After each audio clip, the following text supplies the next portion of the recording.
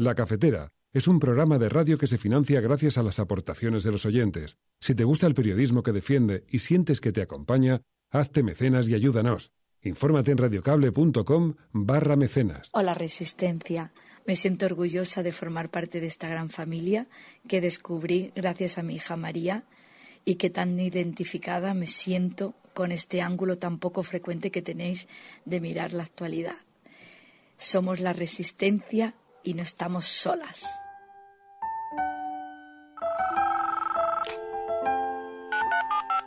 Son las ocho y media de la mañana. Las siete y media en la Casa Museo de José Saramago, en Tías, Lanzarote. Buenos días, mundo. ¿Quieres un café? ¿Quieres un café?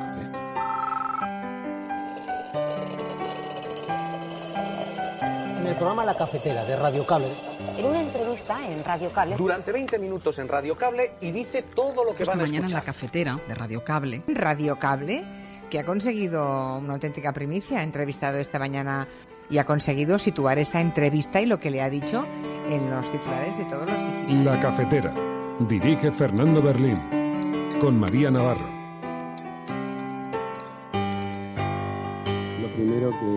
Quería decir es que lamentamos mucho los inconvenientes que están sufriendo los argentinos desde las 7 de la mañana por falta de suministro eléctrico. Acá no hubo ninguna alerta, no hay posibilidad de que exista ninguna alerta porque es algo que el cerebro humano no podría detectar, no hay intervención humana.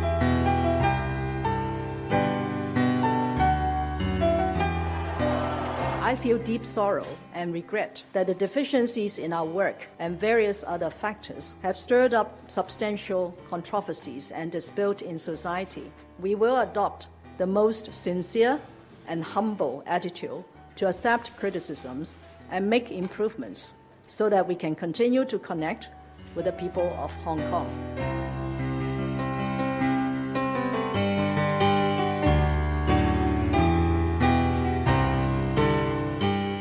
Soy optimista. Creo que, en el último encuentro, y eso tengo que agradecer sobre al Partido Socialista, que el Partido Socialista se abriera a, a lo que se llamó un gobierno de cooperación, creo que es un paso muy importante. Los contenidos de esa negociación no tiene sentido ir entregándolos por fascículos, creo que tendremos que presentar un acuerdo final.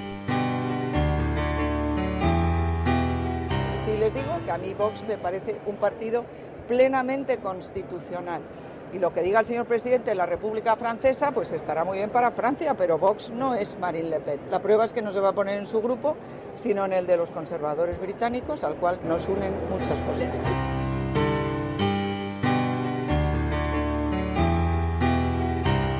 Ustedes saben que les dejamos una situación económica excelente. Les hemos reducido nada menos que les hemos reducido ese peso de la deuda que hacía que cuando llegamos nosotros a este gobierno nos decían que no se iba a poder llevar a cabo el trabajo que queríamos hacer. Se pudo. Y además se pudo y lo van a poder hacer ustedes porque hemos reducido más del 52% la deuda.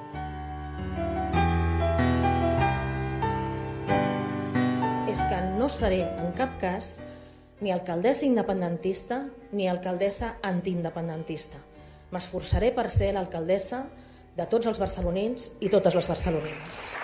Quisiera enviar un fuertísimo y tierno abrazo a ese Madrid antifascista, el Madrid del no pasarán, el Madrid del 15M, esa ciudad de Madrid feminista, orgullosamente diversa, que hoy está triste y preocupada. Que sepan que siempre, siempre la ciudad de Barcelona será su ciudad amiga y estará a su lado.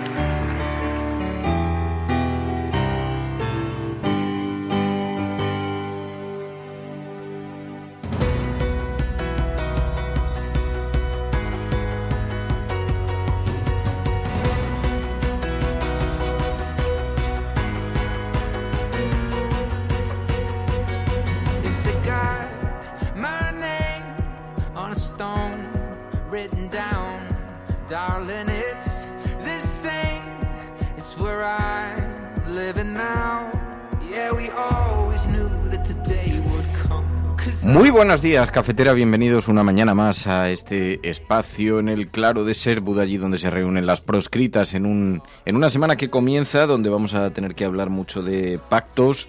Se van despejando los pactos en, en España. Ya sabéis que se acaban de celebrar aquí unas elecciones autonómicas y municipales y entonces hay mucha expectación en torno a las alianzas, porque ha irrumpido con mucha fuerza la extrema derecha que está facilitando la gobernabilidad en algunos ayuntamientos y eso tiene muy preocupada a la sociedad, a una parte de la sociedad española. Bien, bueno, pues de esto vamos a hablar hoy, de los pactos, de la configuración de esos ayuntamientos que tuvieron lugar este fin de semana, este, este sábado, pero hablaremos de otras muchas cosas porque, como sabéis también, en el otro lado del mundo, en Argentina, un gran apagón que ha afectado a Uruguay y Argentina tiene preocupadísimas a las autoridades. Están investigando la falla que ha dejado, qué es lo que falló en este apagón histórico que ha ocasionado enormes trastornos, que ha planteado numerosos interrogantes y que ha dejado al país, a los países a oscuras durante, dice, Argentina, afectó a parte de Uruguay, Brasil, Paraguay. Especialistas aseguran que se trató del mayor apagón que ha sufrido Argentina en la historia del país y ahora tratan de explicar qué es lo que lo ha originado. Ninguna teoría es concluyente, ahora están investigando, pero es un apagón de extrema de extrema gravedad, imaginaos, sin suministro eléctrico aproximadamente durante ocho horas, en algunos casos incluso se prolongó ah, prácticamente toda la jornada y las ciudades han padecido numerosos trastornos, hospitales, eh, sistemas de seguridad. Bueno, os podéis imaginar el caos tan gigantesco en el que se ha sumido y llama mucho la atención porque hay antecedentes así igualmente graves desde Nueva York a Venezuela, cortes que han hecho historia, cortes de luz que han hecho historia y aunque luego pues se haya inundado de memes, pero esto para fin, países enteros con todos los recursos, con todas las necesidades, con toda la preocupación que eso eh, suscita, imaginaos, han tenido que saltar un montón de sistemas de emergencia. Así que, bueno, pues eh, miraremos porque la prensa sigue con muchísima atención también este, este asunto, así que lo observaremos también aquí en el, en el programa en un lunes en el que damos la bienvenida, como siempre, a numerosos oyentes que se incorporan a esta hora y bajo la atenta mirada de María Punto es muy buenos días, María. Muy buenos días. ¿Qué tal tu fin de semana? Bien, bien, bien. He dormido mucho, así que bien. Sí, creo que has eh, superado el récord Guinness de conquista nocturna, de dormir horas. horas. 11 horas. Es, sí. Eso. bueno, muy buenos días a todos. Hoy vamos a utilizar un hashtag almohadilla, la cafetera, con Rivera Box. Almohadilla, la cafetera, con Rivera Box. Al final quedó despejada la duda. En efecto, un partido liberal, que se decía liberal como Ciudadanos, pacta con la extrema derecha en numerosos ayuntamientos para facilitar el gobierno al Partido Popular con Rivera Vox. Bueno, pues ya se incorporan por aquí al programa numerosos oyentes a los que pedimos que nos ayuden también a analizar esta situación. Carmen Fernández, muy buenos días, Carmen. También pásanos poco, dice, ¿qué puede salir mal? Dice, Almeida recupera el sueño olímpico para Madrid. Ahora lo comentaremos, está en las portadas de algunos periódicos. El nuevo alcalde de Madrid quiere volver a presentar a Madrid como eh, ciudad olímpica.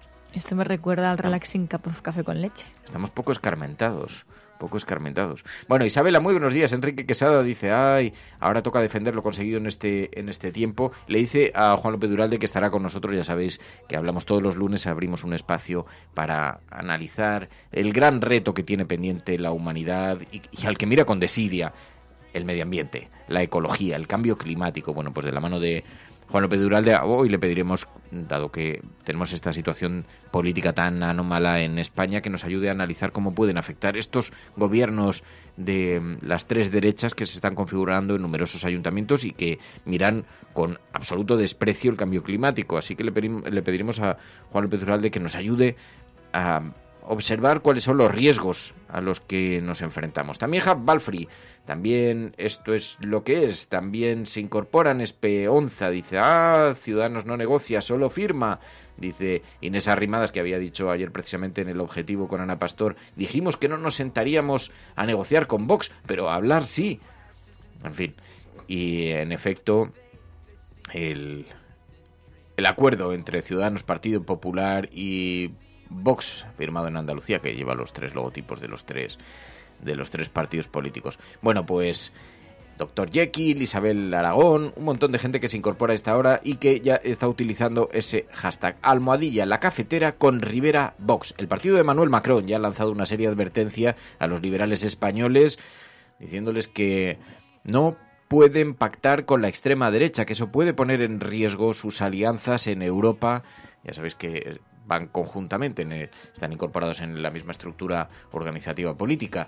Así que el partido de Manuel Macron lanza esa serie de advertencia. ¿No creéis que le ha importado mucho a la derecha española? José Luis Martínez Almeida es una persona verdaderamente extraordinaria desde el punto de vista de la preparación académica, desde el punto de vista de las relaciones personales que también son muy importantes y yo creo que va a ser un gran alcalde de Madrid. Por eso estoy muy contenta. Si les digo que a mí Vox me parece un partido plenamente constitucional.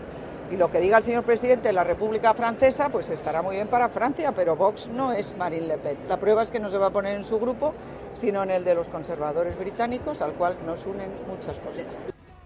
Bueno, así que os preguntamos, Francia ha advertido, ¿puede un partido liberal pactar con la extrema derecha? Porque a nadie se le escapa que ha habido un pacto abiertamente entre Ciudadanos y Vox con el Partido Popular mediante, pero un pacto que entre otras cosas puede eh, constituir numerosas alianzas. Es que fijaos, porque creo que hablábamos el, el viernes de este asunto, pero no solamente está en discusión si forman parte de la estructura de gobierno o no, si eh, obtienen o no una, mm, pues, no sé, alguna mm, algún puesto visible dentro del ayuntamiento, alguna concejalía. El problema es que hay numerosas empresas públicas, hay muchas instituciones que no tienen, digamos, un corte muy público, que no tienen un corte demasiado visible, pero que sin embargo forman parte de la estructura de poder de las ciudades y obviamente cuando uno cede sus votos pide algo a cambio. Esto es un hecho que no hay que discutir y a nadie se le ocurre ir de la mano si no tiene ese, esa discusión pensada.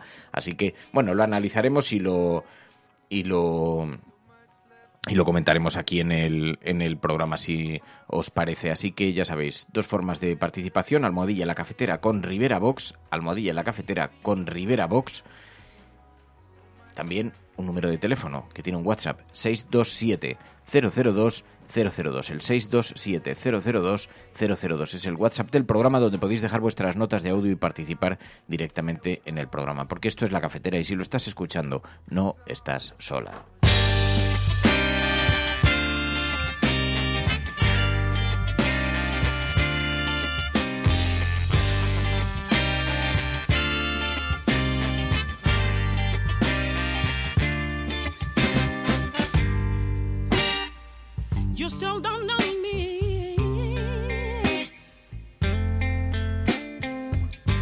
Y desde aquí enviamos un abrazo muy fuerte a los hermanos argentinos, a nuestros hermanos argentinos, nuestras hermanas argentinas que en estas últimas horas han estado, bueno, con mucha inquietud, han vivido con mucha inquietud este corte de luz que ha afectado a todo el país, corte del servicio eléctrico en Argentina afectó principalmente a Buenos Aires y a todo el cinturón urbano, unas 13 millones de personas, pero se extendió a todo el país, también a zonas de Paraguay, de Uruguay, que se vieron afectadas porque la empresa estatal de energía de Uruguay, por ejemplo, estimaba que 700.000 personas, más de un cuarto de millón solo en Montevideo, 700.000 personas habían quedado afectadas por este corte de luz también en Uruguay. Brasil, Chile, se extendió un corte de luz que paulatinamente se fue restableciendo y no se sabe exactamente qué es lo que lo ha provocado. Hay mucha curiosidad por saber cómo se están sucediendo estos cortes de luz en Latinoamérica de forma escalada. Mauricio Macri en su cuenta de Twitter dijo que el apagón se trataba de un caso inédito que va a ser investigado a fondo, pero incluso rueda de prensa del secretario de Energía. Bueno, que la cadena de acontecimientos posteriores que causaron la desconexión total sí eran eh, sí se había producido de una forma anormal, no así el el fallo que generó el apagón, pero toda la cadena de acontecimientos posteriores sí se trataba de una de una situación, una cadena de acontecimientos anormal. Bueno, pues mucha curiosidad porque esto contagió al resto del sistema, este apagón eléctrico que afecta a la ciudad de Buenos Aires, Argentina, y a partir de ahí contagió todo el, el sistema. Se preguntaban mucho si se podía tratar de un ciberataque, no estaba dentro de las principales eh, sospechas que se estaban barajando, aunque no eh, no se había descartado completamente. Pero en todo caso, en una sociedad cada vez más dependiente de lo eléctrico, imaginaros todos los sistemas de seguridad, algunos domésticos, respiradores, también en los hospitales que tienen sistemas de emergencia, pero digamos que como para solventar una situación coyuntural, temporal, pero durante horas el país prácticamente al completo sumido en una oscuridad absoluta que empezó a las 7 de la mañana y que afectó, como decimos, a numerosas, numerosas eh, localidades, tanto de Argentina como de otros países. Lo primero que quería decir es que lamentamos mucho los inconvenientes que están sufriendo los argentinos desde las 7 de la mañana por falta de suministro eléctrico. Acá no hubo ninguna alerta, no hay posibilidad de que exista ninguna alerta, porque es algo que el cerebro humano no podría detectar, no hay intervención humana. Y como además hemos vivido también las, los apagones el pasado mes de marzo, ¿os acordáis? En Venezuela, que el país se quedó completamente sin electricidad y entonces todas las teorías de la conspiración señalaban, apuntaban a los Estados Unidos y podía estar detrás. Imaginaos un apagón de esta naturaleza afecta a todo el sector industrial, que pare durante 24 horas tiene unos costes económicos absolutamente formidables. Así que ahora todos se preguntan si hay algún país que tenga esta tecnología, que disponga de la tecnología suficiente como para provocar un apagón de esta naturaleza y qué objeto puede tener en el caso de que se hubiera celebrado, ya sabíamos que Venezuela estaba en una situación de muchísima inestabilidad, pero bueno, aparentemente las autoridades, por lo menos por el momento, no lo colocan como la primera opción, descartan a priori que este pueda ser, que la, la teoría del ciberataque pueda estar detrás de este gigantesco apagón. Pero como digo, hay numerosa preocupación, lo vemos en toda la prensa latinoamericana. Investigan la falla que dejó al país a oscura, dice el día de Argentina, pero son numerosos medios de comunicación los que, como os podéis suponer, han llevado esto a sus portadas en todo Latinoamérica. Así que en la medida en que se vayan produciendo informaciones sobre esto, pues iremos, iremos dando cuenta, aunque ya decimos que hasta la BBC se pregunta qué es, qué, es lo que se sabe de este grave e inédito apagón masivo que ha dejado sin luz Argentina y aparte de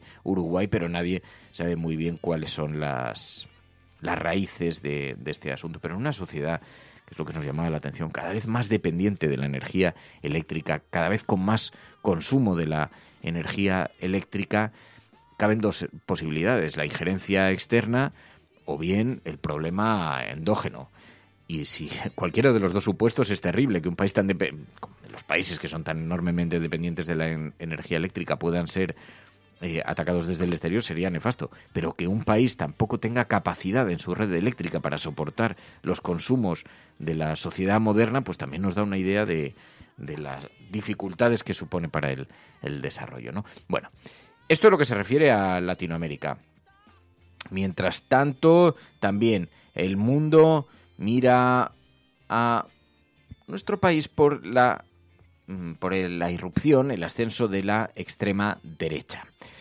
Hemos visto cómo Mm, Esperanza Aguirre decía que Vox no es Marine Le Pen, que este partido no representa una extrema derecha como la de Marine Le Pen, porque se han, ya lo sabéis, se han aproximado en, en Europa a otro bloque de partidos extremistas, aunque son igualmente extremistas, pero decía Esperanza Aguirre, bueno, pero no es Marine Le Pen, no está en el grupo de, de extrema derecha. Y mientras tanto, aquí, Ada Colau, en el gobierno del Ayuntamiento de Barcelona, en su discurso a la alcaldía, lanzó un mensaje también de solidaridad con la ciudad de Madrid, que ve cómo en su alcaldía y en su comunidad en Madrid se estructuran gobiernos apoyados en estos partidos de extrema derecha. Per molt que alguns insisteixin en dir-me equidistant o dir-nos a Barcelona en comú equidistants, com molt bé ha explicat el Joan Subirats, en absolut ens sentim neutrals. El que també els hi dic és que no seré en cap cas ni alcaldessa independentista ni alcaldessa antiindependentista. M'esforçaré per ser l'alcaldessa de tots els barcelonins i totes les barcelonines.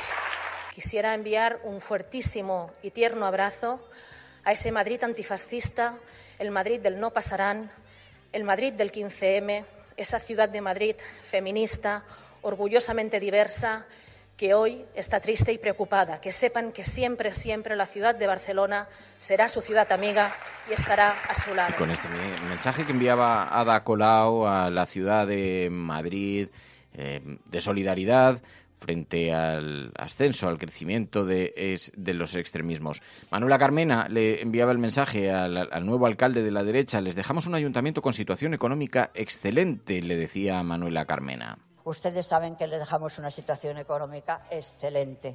Les hemos reducido nada menos que les hemos reducido ese peso de la deuda que hacía que cuando llegamos nosotros a este gobierno nos decían que no se iba a poder llevar a cabo el trabajo que queríamos hacer. Se pudo. Y además se pudo y lo van a poder hacer ustedes porque hemos reducido más del 52% la deuda.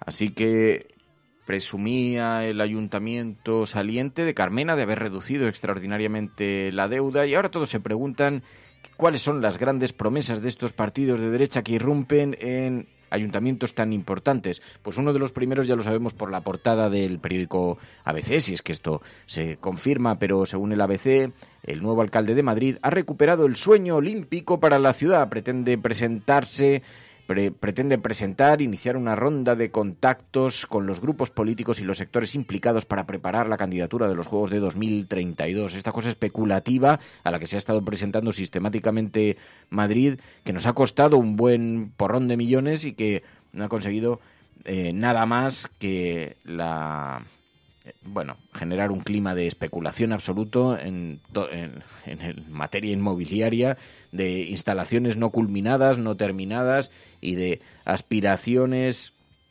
un tanto caudillescas de esta ciudad para convertirse en ciudad olímpica. Mientras tanto, pues el ABC publica una fotografía del año 2013 en los actos de promoción de la candidatura de, de Madrid con unas bailarinas y lo pone todo bueno, muy mitificado en su portada. Almeida recupera el sueño olímpico para Madrid, la grandeza que nos, que nos metió en tantas deudas y que ahora pues recupera la derecha nada más llegar. Mientras tanto, en los en el resto de los periódicos mm, observamos, eso sí, una crítica que conecta un poco con el hashtag que publicábamos esta mañana. Para el periódico El Mundo está creciendo la presión interna eh, alrededor de Albert Rivera para que frene el giro a la derecha del partido Ciudadanos. Dirigentes críticos demandan volver al centro. La dirección ignora los reproches, cree que es buena la estrategia e insiste en seguir confrontando con Pedro Sánchez, pero escorándose a la derecha. La negociación de los pactos municipales, dice el periódico El Mundo, de forma preferente con el PP y el acercamiento a Vox dice que se produce en varias ciudades, ha vuelto a remover las aguas de Ciudadanos. En los últimos días ha crecido la presión para que se modifique la estrategia que puso en marcha en febrero para situarse en la derecha del espectro político y disputarle la hegemonía al PP. Fuentes críticas de Ciudadanos le dijeron al periódico El Mundo con mucha contundencia que el camino va a tener que rectificarse porque es necesario que la formación naranja vuelva al centro y al reformismo. Pero lo cierto es que algunos de los, esto no lo cuenta la portada del periódico, pero algunos de los fundadores de Ciudadanos ya se han mostrado muy discrepantes con Albert Rivera y lo han hecho saber a través de cartas y a través de textos a lo largo de todo el fin de semana. Así que empiezan a surgir las voces cada vez más contundentes para que este partido que nació definiéndose como liberal no siga escorándose hacia la extrema derecha. Y Mientras tanto, escuchábamos a Manuela Carmena reivindicando, porque ¿quiénes son los principales afectados? Veremos a ver, porque hay muchos colectivos por el ascenso de la extrema derecha en, España que pueden verse afectados. Ahora hablaremos con Juan López Duralde para ver cómo afecta, por ejemplo, al medio ambiente, a la ecología. Pero Carmena alertó también el feminismo, que es la mayor revolución sin derramamiento de sangre en el mundo. Y el feminismo, queridos concejales, estimados compañeros todos en el día de hoy, es un movimiento que ha significado la mayor revolución del mundo sin que haya habido una gota de violencia. Así ha sido. Y digo esto diciendo claro que el movimiento feminista jamás fue violento. Desgraciadamente hay quien no cree en el feminismo, quien no respeta a las mujeres, quien las mata. No puedo olvidar el decir hoy la enorme trascendencia que tiene el que en estos días estamos llegando nada menos que a mil mujeres muertas por violencia de género. Por eso, insisto, empleo el término, término feminista, teoría de los cuidados. Tenemos que cuidar la democracia.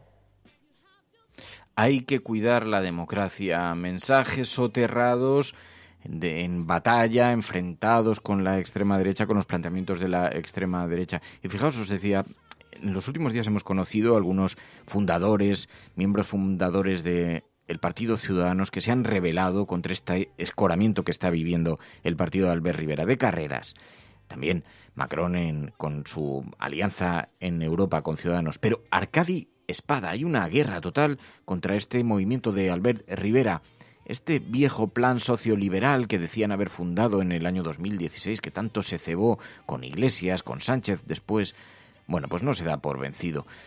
Eh, dice Pedro Ballín que mientras tanto nos encontramos con estas, con, estas alertas que lanzan pero fijaos, los pactos de ciudadanos con los ultras contradicen el manifiesto que firmó con los liberales europeos para las elecciones. Lo decía el, diario digital infolibre.es, pero este documento aprobado en el Congreso que celebraron en Madrid en noviembre los partidos de Alianza Liberales y Demócratas Europeos, ALDE, de la que forma parte Ciudadanos, reniega de movimientos autoritarios, nacionalistas y populistas como Vox, los califica de fuerzas antiliberales que tratan de empujar a Europa hacia un conflicto cultural. Bueno, pues aún así no ha evitado que se apoyen en esta organización política para conseguir el gobierno.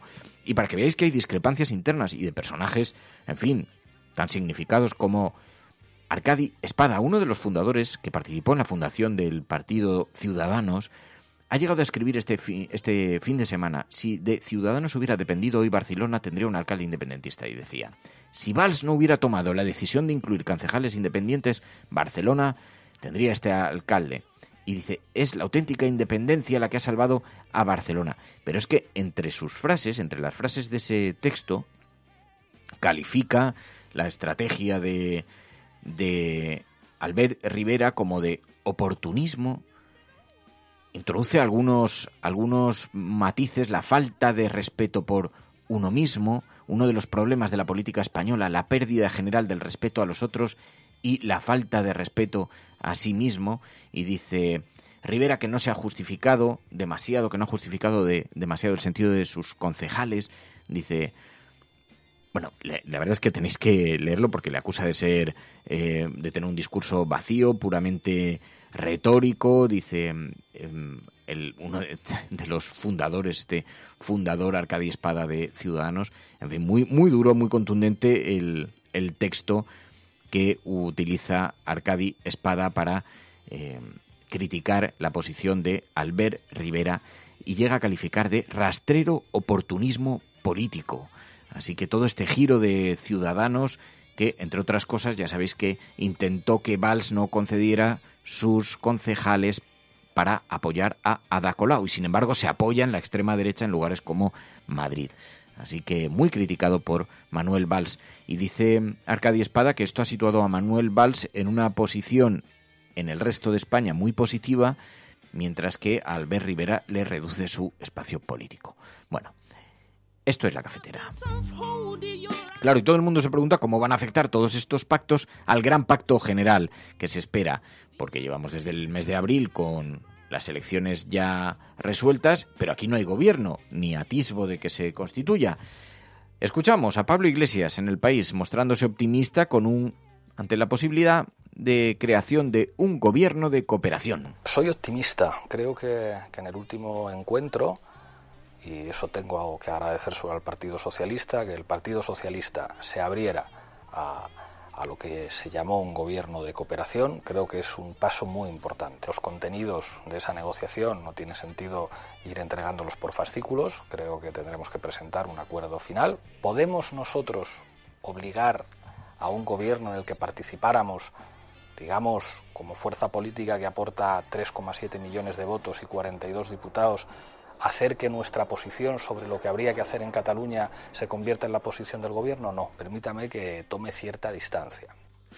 Eso decía Iglesias, ahora se están conformando los, los posibles pactos, las posibles conversaciones están colocadas ya sobre la mesa y se especula mucho cuándo se podría formar gobierno, cuándo podría ir a la investidura Pedro Sánchez. Se habla mucho de mediados de julio, pero quizás si las conversaciones no van bien, veremos a ver cuál es la posición de Ciudadanos. Ya se ha apoyado en la extrema derecha, hay quien dice, bueno, esto le podría abrir la puerta también a buscar alianzas para contrapesar en su imagen en el socialismo.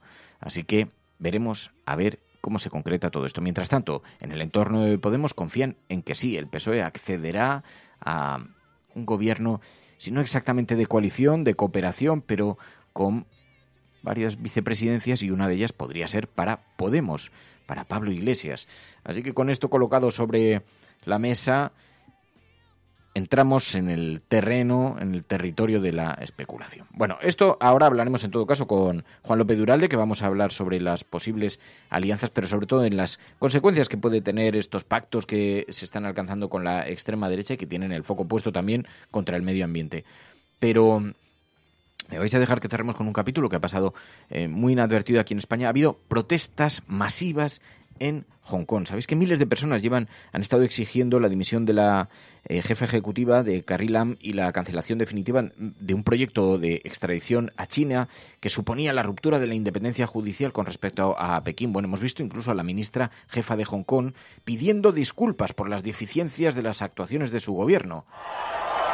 I feel deep sorrow and regret that the deficiencies in our work and various other factors have stirred up substantial controversies and dispute in society following the relatively calm periods of the past two years.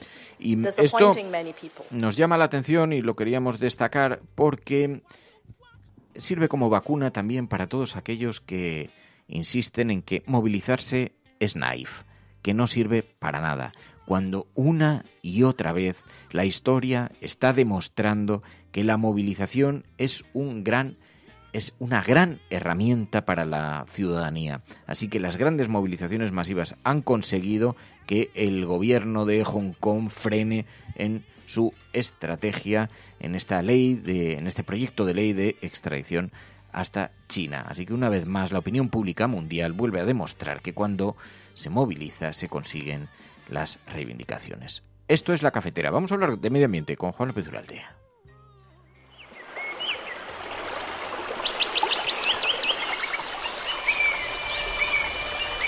Datos que aseguran que el calentamiento global provoca cada año en el mundo 7 millones de muertes prematuras, más que las causadas por el SIDA y la malaria, por ejemplo han ido a parar al río Guadiamar después de que se rompiera una balsa en las minas de Aznalcóllar. El vertido, que contiene ácidos y metales pesados, ha afectado a viviendas. Estos picos de polución no solo hacen que nuestra salud se resienta, también reducen nuestra esperanza de vida. El petrolero, el Prestige, que naufragó ayer con 77.000 toneladas de combustible en su interior. Hay que controlar que no aumente el vertido al mar.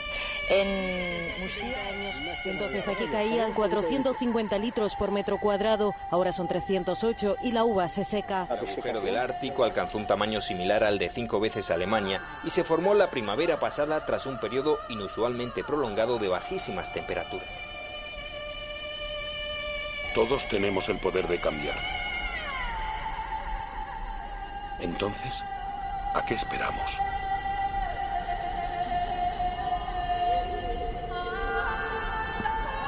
Bueno, pues en efecto, hoy es lunes, ya sabéis que los lunes siempre hacemos un espacio para hablar de medio ambiente, de ecología, lo hacemos junto a Juan López Duralde. Muy buenos días, Juancho. Hola, Fernando, buenos días. En una mañana en la que, es verdad, todos los medios de comunicación, todas las portadas están puestas en las alianzas, en los gobiernos municipales, autonómicos, en los que se introduce por primera vez la extrema derecha en las en, en, los perfiles de poder de este país, en las instituciones con poder en este país, pero claro, se produce una alianza de derechas que además convergen en un asunto, en el discurso antiecologista. Esto lo hemos visto repetido sistemáticamente por estos partidos, una mirada de desidia absoluto sobre este gran reto pendiente y puede tener consecuencias muy importantes. Ayer hacías una llamada en internet y decías, oye, ¿a qué podría afectar? ¿Qué, qué, asuntos de vuestros municipios conocéis? Y he visto que había respondido algunas, algunas personas, algunos internautas, con bastantes sugerencias, ¿no? Sí, efectivamente, bueno, yo creo que hoy no podíamos dejar de reflexionar sobre lo que va a pasar en nuestros municipios los próximos cuatro años porque los pueblos y las ciudades juegan un papel clave en, el, en, en, esta emergencia climática y en esta emergencia ecológica en la que estamos. Hay que tener en cuenta que muchas de las medidas que son necesarias deben tomarse en las ciudades, ¿no? Por poner un ejemplo, el otro día se conocían los datos de emisiones en España, de emisiones de gases que causan el efecto invernadero, que causan el cambio climático. Y bueno, los datos eh, no son malos porque se había producido una pequeña bajada, pero hay un aumento en, en las emisiones fundamentalmente del transporte, ¿no? del tráfico y de los aviones. Y de, ese, y de esas emisiones de tráfico se daba el dato de que un tercio de las emisiones se producen en las ciudades, ¿no? Y en muchos casos son emisiones que se producen en atascos, es decir, absolutamente inútiles, ¿no? Entonces, el papel de las ciudades es, fundamental y no es baladí, no es, eh, no es lo mismo eh, unos gobiernos municipales que otros, ¿no? Y en ese sentido, pues yo creo que, lo que lo que vivimos ayer, pues ha sido una muy mala noticia para nuestro país, porque fundamentalmente, eh, gracias a los pactos eh, de la derecha con la extrema derecha, pues han recuperado poder en muchos sitios y eso significa, eso es malo para el medio ambiente, ¿no? Es decir, eh, es así, objetivamente. Hay gente que dice, no, es que no tiene que ver el medio ambiente con la ideología. Yo digo, bueno, pues eh, no sé si tiene que ver o no tiene que ver, pero los hechos son que, bueno, pues en los programas de gobierno de estos, de estos tres partidos, pues las primeras medidas que se ponen encima de la mesa eh, son directamente mm, echar para atrás en, en cuestiones eh, ambientales que, se había conseguido avanzar. Es muy difícil conseguir avanzar y lo que se avanza pues eh, eh, se ha perdido yo creo que es una mala noticia que nos pone otra vez a los ecologistas en modo en modo trinchera en vez de en modo proyectos adelante y esto es una mala noticia. Además es que es, es, un discurso llamativamente convergente. Los tres partidos en los que se han apoyado, la extrema derecha, la derecha, la derecha que se dice liberal, pero tienen un, un, discurso que cuando no es directamente de apoyo a lo industrial, tiene mucho de negacionismo directo. Y vemos, por ejemplo, lo que ocurre. Alguna, yo, yo veo lo que se, percibimos lo que aquí ocurre en Madrid, pero seguro que vosotros que estáis escuchando desde todo el mundo y desde toda España lo veis tanto en partidos de extrema derecha o de derecha en el, en el exterior como aquí en vuestras localidades. Pero aquí, por ejemplo, Madrid Central, todo el cierre al tráfico de la zona centro, al tráfico general, que ha producido además de una expectación inédita en Europa sobre esta zona de baja contaminación, eh, también numerosas comodidades, confortabilidad para los propios vecinos. Eh, se ha, conseguido que, se, que desciendan los índices de, de, contaminación. Bueno, pues ya se ha anunciado que se va a volver a abrir al tráfico. El Manzanares también, el Manzanares he visto que lo tuiteabas, también hay preocupación en torno a eso, ¿no? Sí, Madrid quizás eh, por, lo, por lo simbólico tiene importancia, porque Madrid Central eh, se ha convertido en, en el diablo de, estos tres partidos, ¿no? Los tres eh, llevaban en, en, su programa, y es el, el, punto que más se ha destacado en, por los medios de comunicación en cuanto al nuevo plan de gobierno, el nuevo plan de gobierno es acabar con Madrid Central, ¿no? Y a mí me hacía mucha gracia esta mañana cuando escuchaba los, los análisis de tertulianos, etcétera, eh, incluso, bueno, pues una entrevista con el secretario general del Partido Popular que decía, no, eh, nosotros eh, hacemos proyectos en positivo. Digo, pues no sé dónde están los proyectos en positivo. En Madrid, desde luego, el objetivo era echar a Carmena y acabar con Madrid Central. Y así se ha, y así se ha manifestado, ¿no? Esto no sé si será tan fácil porque Madrid Central surge de una como respuesta a una denuncia de la Comisión Europea porque Madrid lleva casi 10 años eh, sobrepasando los límites legales europeos de óxidos de nitrógeno, de, un, de óxidos contaminantes. ¿no? Entonces, eh, ante eso, el ayuntamiento decide tomar medidas, entre otras, Madrid Central. Lógicamente, cuando se hace como reacción y para, y para dar respuesta a la Unión Europea, que eh, gracias a Madrid Central retrasa o elimina eh, una multa que pendía sobre, sobre el Estado español, pues claro que ahora el primer objetivo sea cargárselo, pues es muy mala noticia. Pero además, todos estamos de acuerdo que en la lucha contra el cambio climático, pues el papel de las ciudades es fundamental, ¿no? Y de hecho, en los proyectos de ley que no llegaron a aprobarse, pero que, que ojalá en esta legislatura se aprueben, uno de los elementos a tener en consideración es la necesidad de que las grandes ciudades y las ciudades medias también establezcan eh, zonas eh, libres de libres de tráfico, zonas libres de, emisiones o de bajas emisiones, precisamente para garantizar no solamente la calidad del aire que genera muchísimos problemas de, de salud, como todos sabemos, incluso tiene es, la causa de, una alta mortalidad, sino también eh, la lucha contra el cambio climático. Pero mm, bueno, esto lo hemos visto, lo vimos ya también en la campaña de las generales, donde el Partido Popular de, en concreto, Maroto, por ejemplo, en Vitoria, donde yo me presentaba, pues hizo una campaña para ganarse los votos de los trabajadores de la industria automovilística eh, defendiendo el diésel. Defendiendo ¿no? el diésel, que era una cosa inédita. Efectivamente, es decir, en vez de en vez de hacer una reflexión sobre bueno dónde dónde estamos y qué y qué se debe hacer en la industria del automóvil para garantizar su innovación y para garantizar pues que la industria del automóvil española se pone al día y se pone a la vanguardia en lo que se refiere a la reducción de emisiones y nuevos vehículos, etcétera, pues eh, defendiendo nada menos que el diésel. Esto, esto es la, la, posición de la posición de estos partidos, ¿no? Por lo tanto, yo creo que la reflexión tiene que ser muy, muy contundente en el sentido de que, bueno, realmente el, el gobierno o los gobiernos de la derecha suponen pues un, un auténtico eh, una auténtica bofetada a las políticas ambientales. ¿no? Lo vimos ya durante el tiempo del gobierno de Rajoy, que es que supuso eh, la bueno pues lo que nosotros llamamos la contrarreforma de todas las leyes eh, ambientales y ahora lo vamos a ver a nivel municipal, ¿no? Y claro, en un momento, como digo, insisto en ello, de emergencia climática, de emergencia ambiental, de crisis ecológica, pues que nuestros municipios pierdan estos cuatro años eh, y se retroceda en estas cuestiones, pues es, es muy mala noticia, ¿no? Comentabas, comentabas lo del Manzanares y también quiero, bueno, pues quiero mencionarlo porque es importante, ¿no? Uno de los proyectos quizá que no ha tenido tanta repercusión, pero que sí a los vecinos, eh, los vecinos están muy contentos, es lo que se ha llamado la renaturalización del río Manzanares, ¿no?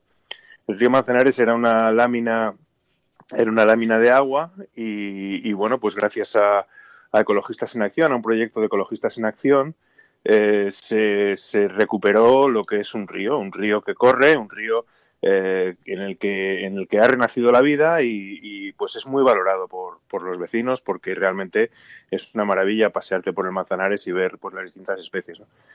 Este, este proyecto se hizo eh, con una también con una intensa oposición por parte de, en su caso, el Partido Popular y Ciudadanos, porque ellos querían que el Manzanares o una parte del Manzanares se mantuviera como lámina de agua, eh, pero realmente, bueno, pues por el tema de las piraguas y tal. Pero finalmente, pues ganó, ganó la ecología y el Manzanares ahora mismo, pues es una, es una pequeña maravilla en la ciudad de Madrid, ¿no? Y hay dudas también de lo que pueda ocurrir con el Manzanares, ¿no? Es decir, hay dudas de que, de que se pueda mm, dar marcha atrás. Esperamos que no, esperamos que este proyecto al menos se, se mantenga, porque del Manzanares es verdad que se ha hablado menos, ¿no? No ha estado tan, no ha estado tan, tan encima de la mesa como ha estado en la campaña, me refiero, como ha estado el, el tema de, de, Madrid Central, porque claro, también es verdad que el, el, hablar de la libertad de tráfico, del coche, defender el coche, pues tiene muchos, muchos seguidores, desgraciadamente, en nuestro país, ¿no? Sí, porque eh, había ejemplos de esto, porque nos llamó la atención cuando se ven las imágenes, se ve que el río ha sido convertido, o sea, lo, lo que se hizo básicamente estaba, el agua estaba estancada prácticamente y lo que hizo fue abrirse para que eh, corra y han vuelto especies que se habían perdido completamente allí.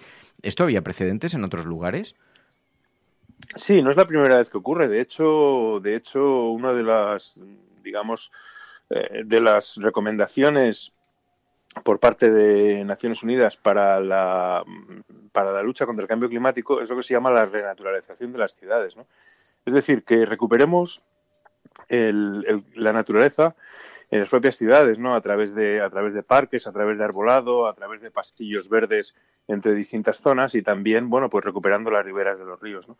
No es una excepción, aunque en España durante mucho tiempo se se trabajó en la dirección contraria, en el sentido de canalizar los ríos en, en, en canales de, cemento, porque se pensaba que eso daba más seguridad, etcétera, ¿no? Pero la realidad es que afortunadamente esto se está revirtiendo porque tiene, tiene muchas ventajas, ¿no? No es solamente no es solamente la belleza que supone la diversidad de especies cuando uno pasea por el Manzanares, sino que también la vegetación que ha surgido eh, en, la propia ribera es una forma de depuración de las aguas, es decir, ahora las aguas eh, del Manzanares salen de Madrid, fíjate qué paradoja, más limpias de lo que entraron, ¿no? Porque atraviesan todas estas zonas de vegetación que, que depuran las aguas. se ha visto también cómo hay una recuperación de las especies autóctonas piscícolas, de los peces, ¿no? Es decir, se, se recuperan las especies autóctonas y las especies exóticas desaparecen, ¿no? En un, en un ecosistema natural. Es decir, aunque, aunque sea, digamos, una renaturalización entre comillas, porque va indudablemente por el centro de Madrid, pero lo cierto es que, lo cierto es, que es, eh, verdaderamente una, una pequeña joya de la naturaleza madrileña, se ha convertido paradójicamente en Manzanares, ¿no? Que, del que, bueno, pues eh, prácticamente era un río olvidado, ¿no? Entonces, bueno, por eso es importante que es importante que este que este proyecto se mantenga y se mantenga y se mantenga vivo y yo estoy seguro que desde luego me consta que ecologistas en acción y que los vecinos y las vecinas pues lo van a defender porque ya digo que una de las cosas que de los mayores éxitos que ha tenido ha sido el apoyo de el apoyo de los vecinos de Manzanares. Es muy simbólico lo que ocurre ahí también porque luego sirve el efecto imitación en otras en otros lugares, en otros ayuntamientos, en otras comunidades autónomas, pero pero no solo lo vemos en Madrid, hay otros lugares también donde están amenazadas muchas políticas medioambientales ecologistas, ¿no? Efectivamente, hablamos de Madrid porque es el porque es el digamos el, centro y, y, lo que ocurre en Madrid de alguna manera se reproduce, ¿no?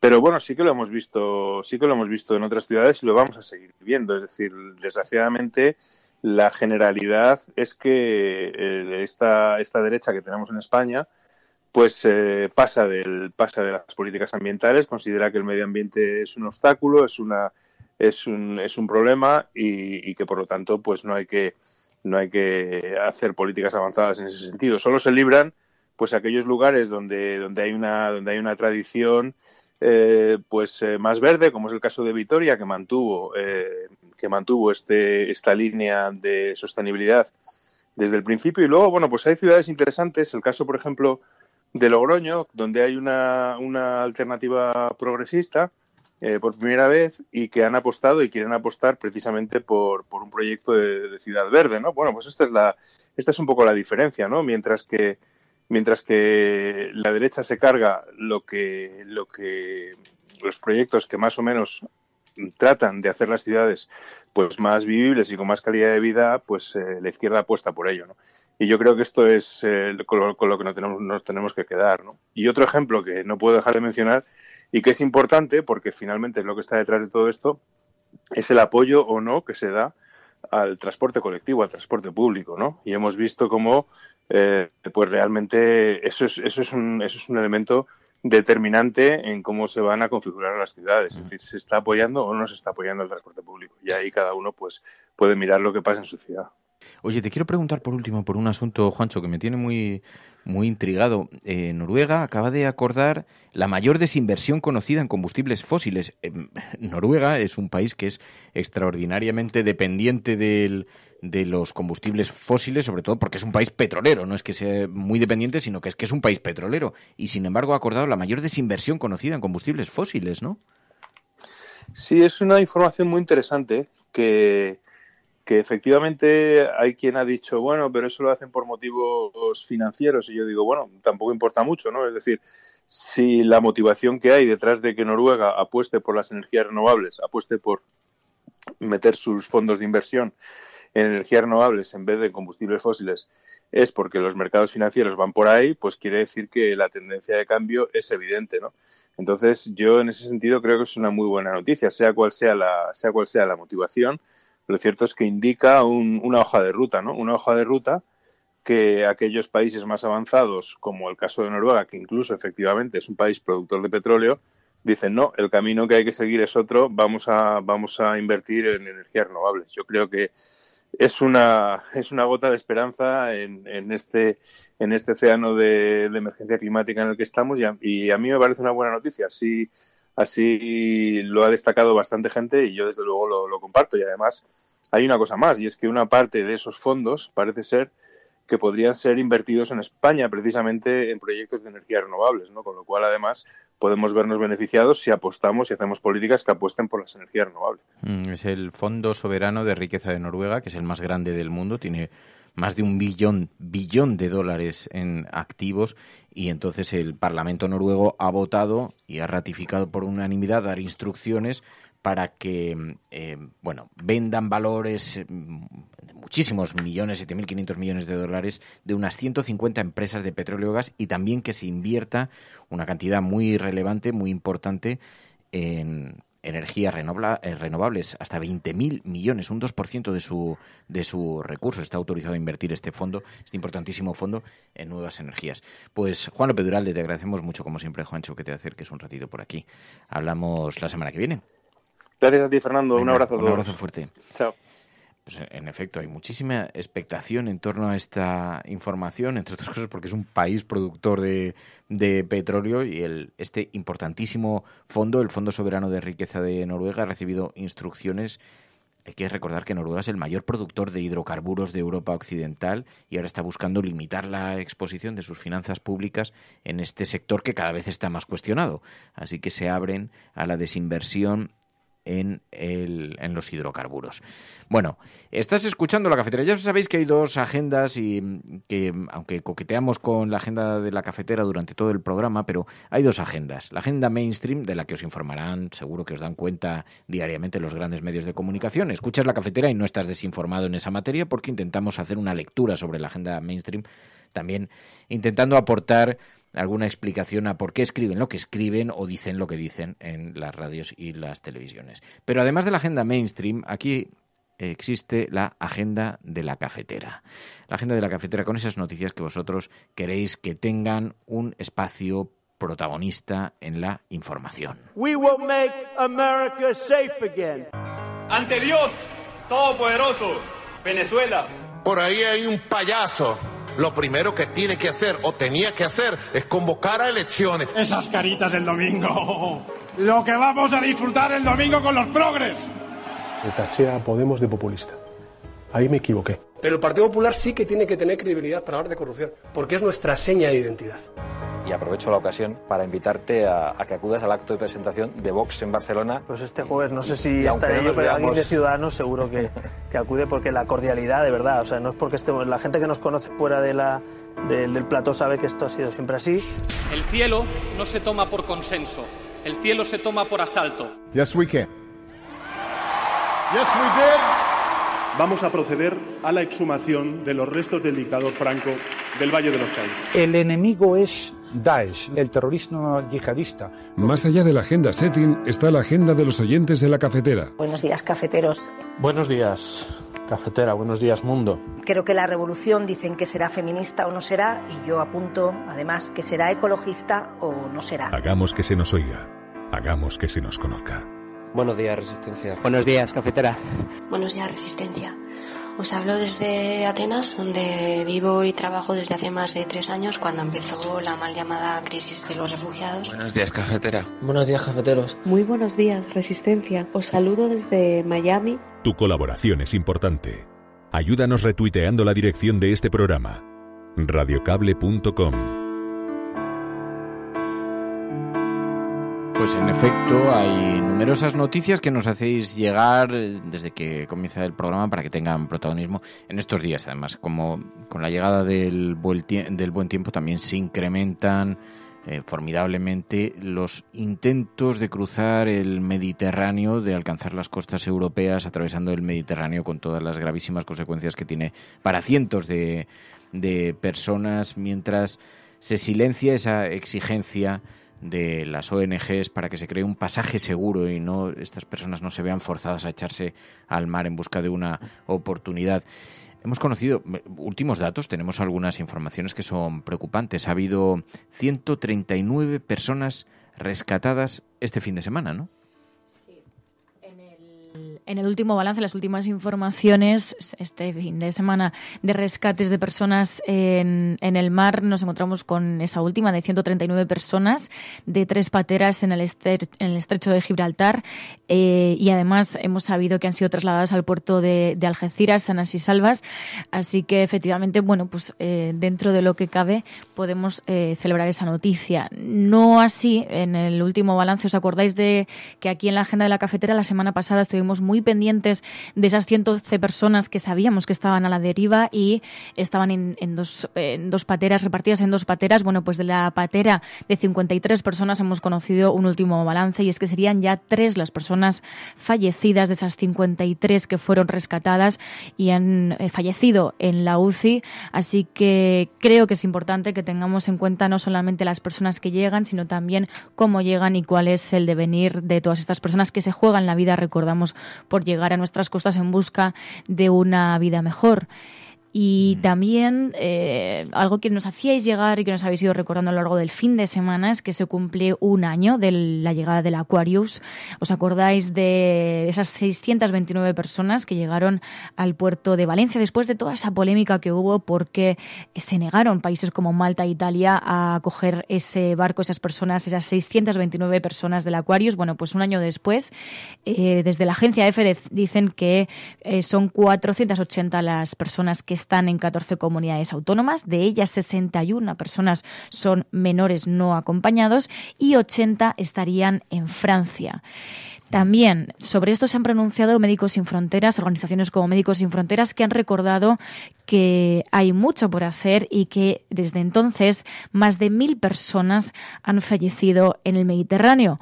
Por eso recordamos que España tiene en concreto muchas cuentas pendientes con la migración. Por ejemplo, tenemos en cuenta, si tenemos en cuenta ese bloqueo, esa prohibición que han dado a los barcos de rescate, de rescatar personas en el Mediterráneo, no se pueden rescatar eh, por parte de estas ONGs, no pueden rescatar eh, personas en el Mediterráneo. También las concertinas que hay en las vallas eh, con frontera con España y también recordaban esas devoluciones en caliente que se siguen produciendo. Así que vemos cómo después del Aquarius España sigue teniendo muchas cuentas pendientes. Esto, eh, claro, es que me llama la atención porque estaba viendo la... Eh, hay una reivindicación histórica que hacen las organizaciones no gubernamentales. Se puede discutir el beneficio que tiene o no para las sociedades la inmigración. Se puede discutir en materia eh, humanitaria, de solidaridad o de cumplimiento de convenios internacionales. Un país como España tiene la obligación de cumplir los convenios internacionales. Las devoluciones en caliente están expresamente prohibidas. Estamos incumpliendo numerosos tratados que hemos suscrito que obligan a nuestra legislación a atender y los estamos incumpliendo en el rescate marítimo, en la acogida de personas que solicitan refugio, en estas devoluciones en caliente, en fin, numerosos convenios internacionales que estamos pasándonos directamente, eh, como estamos convirtiendo en papel mojado, a pesar de que tenemos obligación legal de cumplirlos. Pero además de la insensibilidad humana que supone, una cosa que me llama mucho la atención es que eh, hay una exigencia también eh, para crear un pasaje seguro migratorio. Porque empujar a la gente a que tengan que lanzarse al mar y perder la vida allí es absolutamente deleznable. Aunque creo que, bueno, este fin de semana se celebraba la información de que el barco de Proactiva podía haber, eh, volvía a salir al, al mar, pero la manera en la que intuimos se ha estado utilizando la inmigración como elemento electoral, cómo han tenido el barco parado durante semanas probablemente para evitar el debate electoral, evitar la presión de la extrema derecha, es deleznable cuando hay vidas humanas, ¿no? Todo este acoso que están sufriendo las organizaciones no gubernamentales, en fin, es lamentable. Y luego vemos las cifras que no paran de, crecer, como estamos observando también en las, en las cifras que nos daba María. Oye, hay un, hay un asunto que también nos estaban, nos estaba llamando la atención. Eh, mientras que países como Argentina siguen reclamando que el aborto entre en la agenda política, de hecho, ahora, de cara a las elecciones, ya los partidos políticos están asumiendo el, el discurso relacionado con el, con el aborto, pero vemos, hay legislaciones en el mundo y en algunos países muy cercanos donde es extraordinariamente dura. Por ejemplo, en Irlanda del Norte, ¿no? Si no hace falta cruzar el, el, el Atlántico, ¿no? Para eh, para esto. Lo que sí que vemos es que efectivamente hay, hay, países que tienen esas cuentas pendientes que todavía en el pleno siglo XXI tenemos que hablar de, de, que se tiene que despenalizar el aborto y en concreto en Irlanda del Norte que dicen, eh, desde público.es lo titulaban así, es más terrible que en Alabama la legislación del aborto. Dicen que no solo los médicos que lo practiquen se enfrentan a penas de prisión, sino la propia madre, la propia mujer puede ser condenada de por vida si no sigue adelante con el embarazo, aunque incluso incluso sea fruto de una violación o el feto tenga posibilidades de no tenga posibilidades de sobrevivir. La única opción, dicen, es comprar ilegalmente la píldora abortiva o viajar fuera para interrumpir el proceso. Bueno, como aquí nos encontrábamos antes de, esa ley del, del, aborto que ahora mismo tenemos. Y bueno, lo que evidencia es que efectivamente en el pleno siglo XXI tenemos muchas cosas que reivindicar y ojo que los países que tenemos una ley del aborto eh, y que se ha despenalizado el aborto más o menos flexible pero no puede bajar la guardia porque tenemos la nuestras propias mm, nuestros propios riesgos ¿no? bueno la agenda de la cafetera pero mm, ya sabéis eh, además aquí siempre en el programa intentamos llega un momento que apartamos los periódicos, intentamos servir un poquito más de café y nos quedamos conversando sobre otros numerosos temas que están sobre la mesa, pero entre ellos la vida también, en esta sobremesa de la cafetera.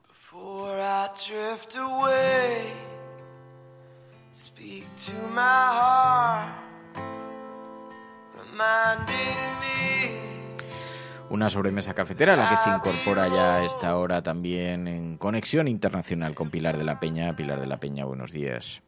Hola, buenos días a todos. Creo que hoy tienes a los a los críos a tu alrededor, así que en cualquier momento podemos tener nuevos oyentes que se incorporan a la emisión. Está bien incorporar nuevas generaciones a la cafetera.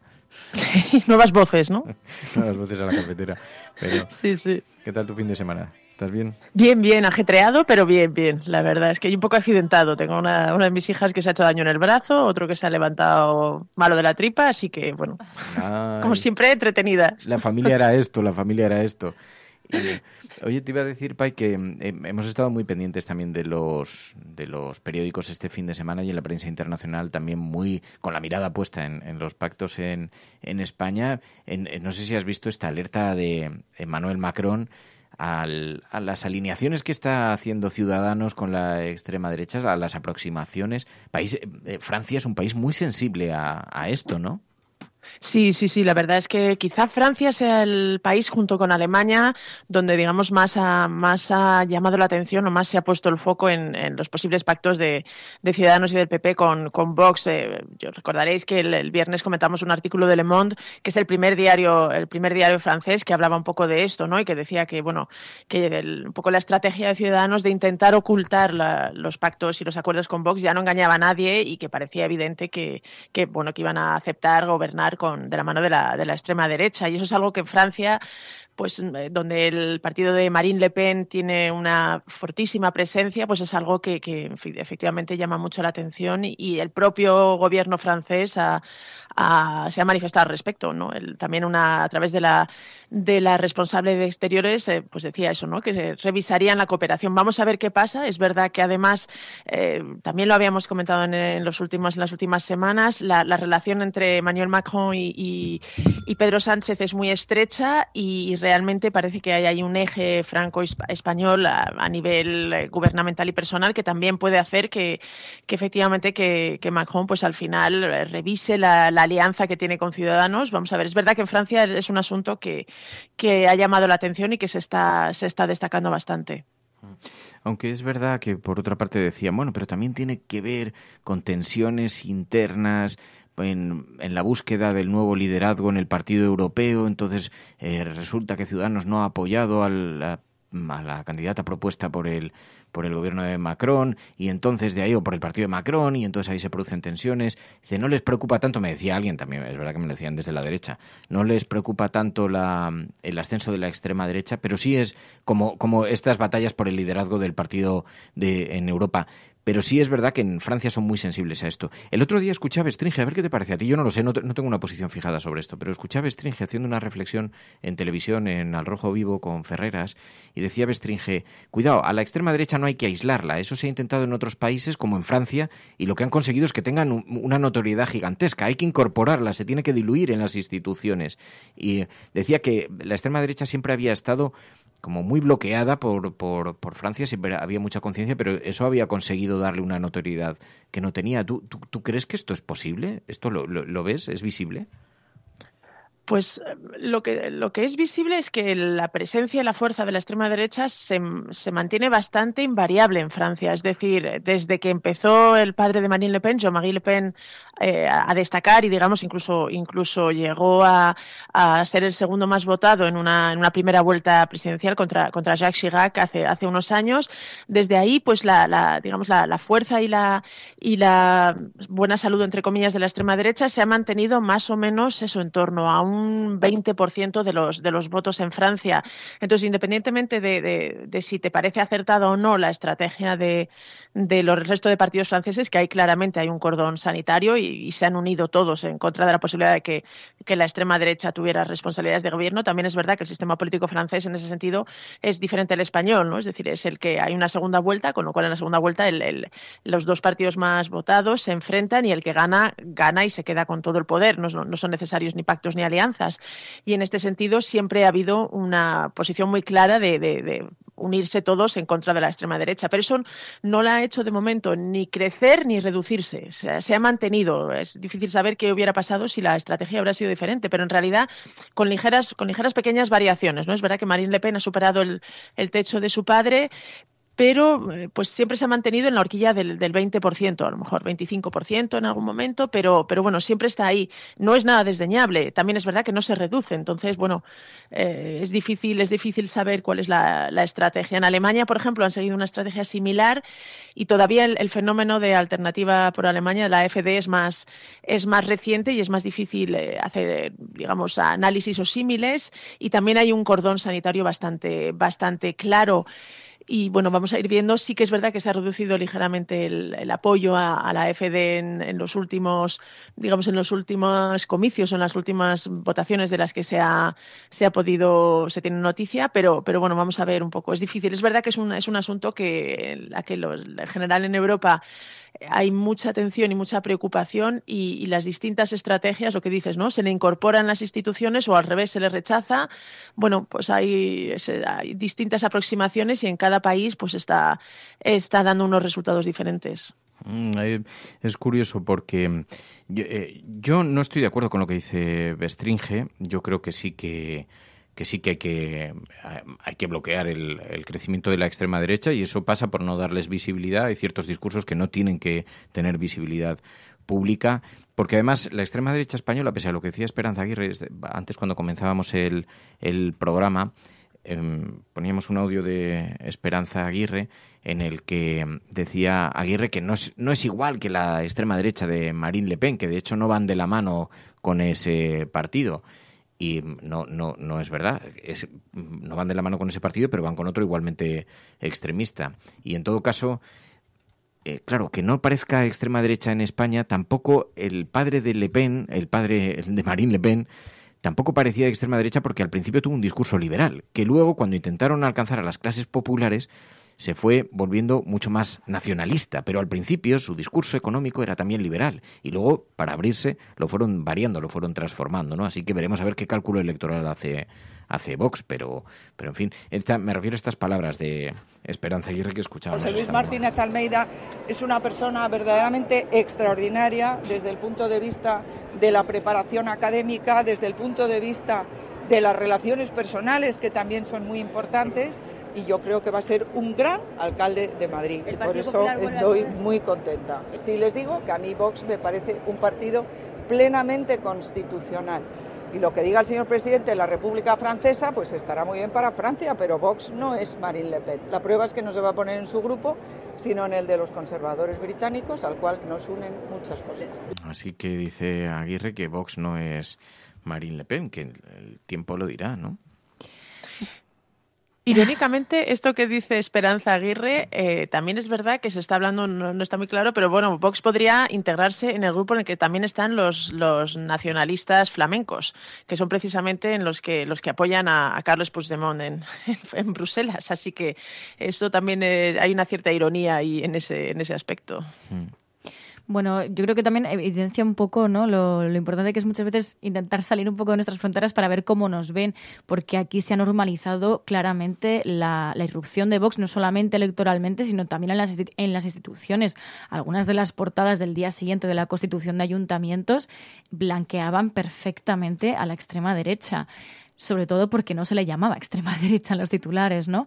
Y bueno, pues se normalizaba perfectamente el hecho de que, bueno, pues que... Tú fíjate, es verdad, tú fíjate las portadas del domingo.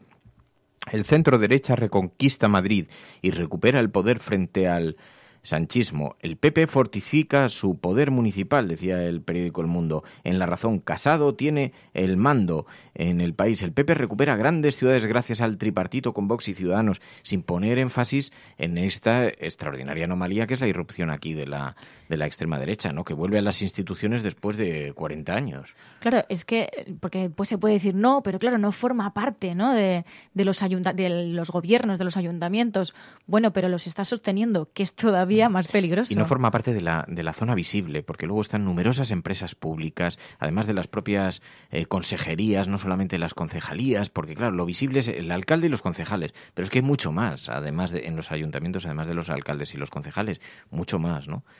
Y luego es difícil creerse que Vox, dado lo indispensables que han sido sus votos para, para poder investir como alcaldes a, todos estos candidatos, no ha exigido algo a cambio y no va a pedir nada a cambio. Es, es muy difícil creerlo, ¿no? Es decir, un partido además que, que está en plena competición por ganar, que además cree que tiene un techo y unas aspiraciones mucho más grandes, realmente yo creo que no es, no es creíble que no ha exigido y que no va a exigir más. Otra cosa, además, yo, yo creo que, que van a ser gobiernos bastante más tumultuosos de lo que, de lo que a lo mejor piensan ahora, ¿no? Han recuperado el poder. Bueno, vamos a ver, se han, está dividida en tres la derecha, tres partidos que además compiten por un espacio electoral muy similar, que se quieren un poco eh, laminar mutuamente y para, para crecer. Vamos a ver, yo creo, y lo peor de todo es que además eh, los ciudadanos vamos a ser un poco rehenes de esta, lo, al menos los de Madrid y los de alguna otra comunidad vamos un poco a ser rehenes y un poco cobayas de, esta, de este experimento a tres bandas que, en el que, claro,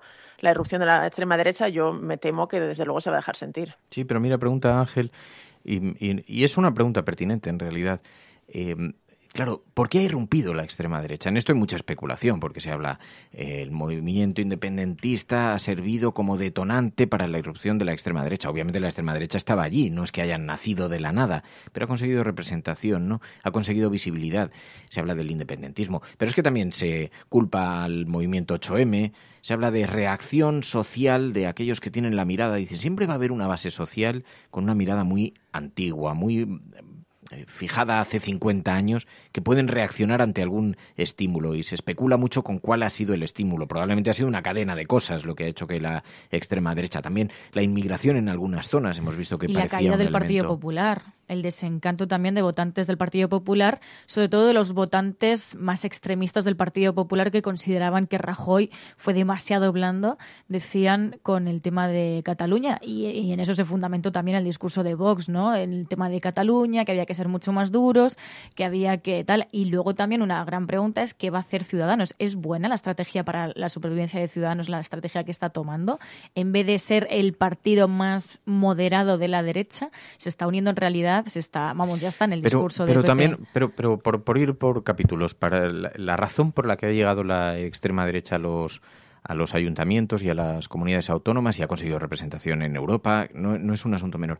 Tiene que ver probablemente también con una situación económica global dificultosa para la socialdemocracia, la falta de respuestas. Hay probablemente razones que nos sobrepasan. Y hay un espejo grande, la extrema derecha está triunfando en otros lugares del mundo. Se le ha perdido el miedo a la extrema derecha porque las generaciones una vez suceden dos generaciones se olvida muy mucho de dónde vienen las raíces de la preocupación, ¿no? Eso es lo que contribuye. Todo el mundo quiere hacer su pequeña revolución. Los que antes fueron revolucionarios después se vuelven pro sistema y los que le surgen como revolucionarios entonces ya al final es la pescadilla que se muerde la cola, es la reiteración sistemática de la historia. No sé si es que ahora hay espejos ante los que mirarse. En Europa también están triunfando otros partidos de extrema derecha y bueno, no parecen tan preocupantes, nos dicen. Y entonces aquí eso hace que beban, aquellos que estaban en una posición tibia y moderada, que beban del espejo exterior. Están también las raíces propias, los errores propios de la izquierda. Fijaos, una cosa que me contaron, y, esto eh, y de la derecha, ¿eh? errores de la derecha también. Sí, sí, a los que apuntaba eh, María también, pero, pero también errores en la, en la izquierda.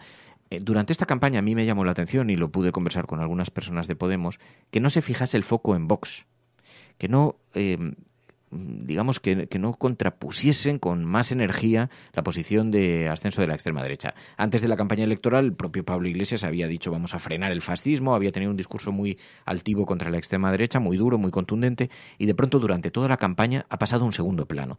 Si os fijáis, apenas se han lanzado mensajes, sí, evidentemente, bueno, alguna cosa, pero muy genérica, muy de extrema derecha, sin focalizarlo en Vox. Entonces yo pregunté la razón, ¿cuál era la razón? Lo vimos muy claramente en el debate en televisión, muy claramente, y lo hemos visto durante toda la campaña. Y entonces me dijeron que es que habían elaborado unas encuestas y que los cualitativos decían que la gente prefería que la izquierda no confrontase abiertamente con, con, la extrema derecha. Pero digo, ¿y quién ha contestado esos cualitativos? La derecha. ¿Dónde se han hecho? En el barrio Salamanca. No hay un elemento que movilice más a la izquierda, como se vio en las generales, además, que la irrupción de la extrema derecha. ¿Por qué Podemos se ha colocado de perfil ante esto? Que yo lo he visto, por ejemplo, con, con Isabel Serra. No puedes tener un contendiente mejor que la extrema derecha en términos de política. Tener a alguien delante, siendo tú además una mujer, ¿no? Y no decirle, son ustedes unos machistas y nosotros, nosotras les vamos a parar. Por ejemplo, ¿no? Que es algo de lo que ha utilizado Pacma. Luego Pacma ha tenido bastante lío en pre-campaña y entonces esto ha hecho que ese discurso quede, quede en segundo plano. Pero sin embargo la campaña fue muy aplaudida. Nosotros mismos la aplaudimos aquí en el, en el programa. Esa campaña de confrontación directa contra los que vienen. Es que Pacma es verdad que en sus raíces no está realmente ese, ese debate. Tienen otras, otros postulados y tienen otras batallas internas. Pero, pero de alguna manera eh, Podemos tomó la decisión de no confrontar. Fue una decisión, ¿eh? me consta, ¿no? no estoy diciendo que yo creo que tal, no, no, es que lo he conversado, lo he conversado con, con personas muy significadas de la estructura de Podemos. ¿Por qué no lo hicieron? Fue por una cuestión de cálculo electoral y yo creo que fue, ha sido equivocada, porque había una responsabilidad más allá del cálculo electoral, que es avisar, advertir de lo que de lo que se nos viene encima.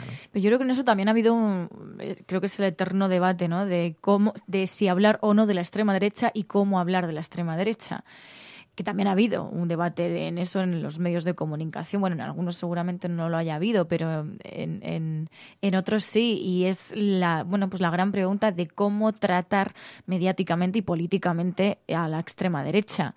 Eh, bueno, yo creo que para empezar hay que empezar llamándoles como lo que son, que es extrema derecha, y luego ya ver si en el debate pues entran, pues bueno, ya lo vimos, es que fue formó parte también de si entraban o no en los debates electorales, cómo se les trataba en los debates políticos también, en los, debates electorales. Sí, porque luego está diciendo eh, Porque ahí a lo mejor había que haberle dicho a PP y Ciudadanos en los debates electorales eh, haberles señalado si iban a pactar con la extrema derecha o no. Sí que vimos pues alguna de las de las, de, las intervenciones que se dirigieron a ellos fueron con, con, eso, pero yo hubiese insistido todavía más, ¿no? Porque, sobre todo para, para concienciar a la sociedad de lo, de lo urgente, de, de lo importante que es apartar a la extrema derecha de una democracia como la española.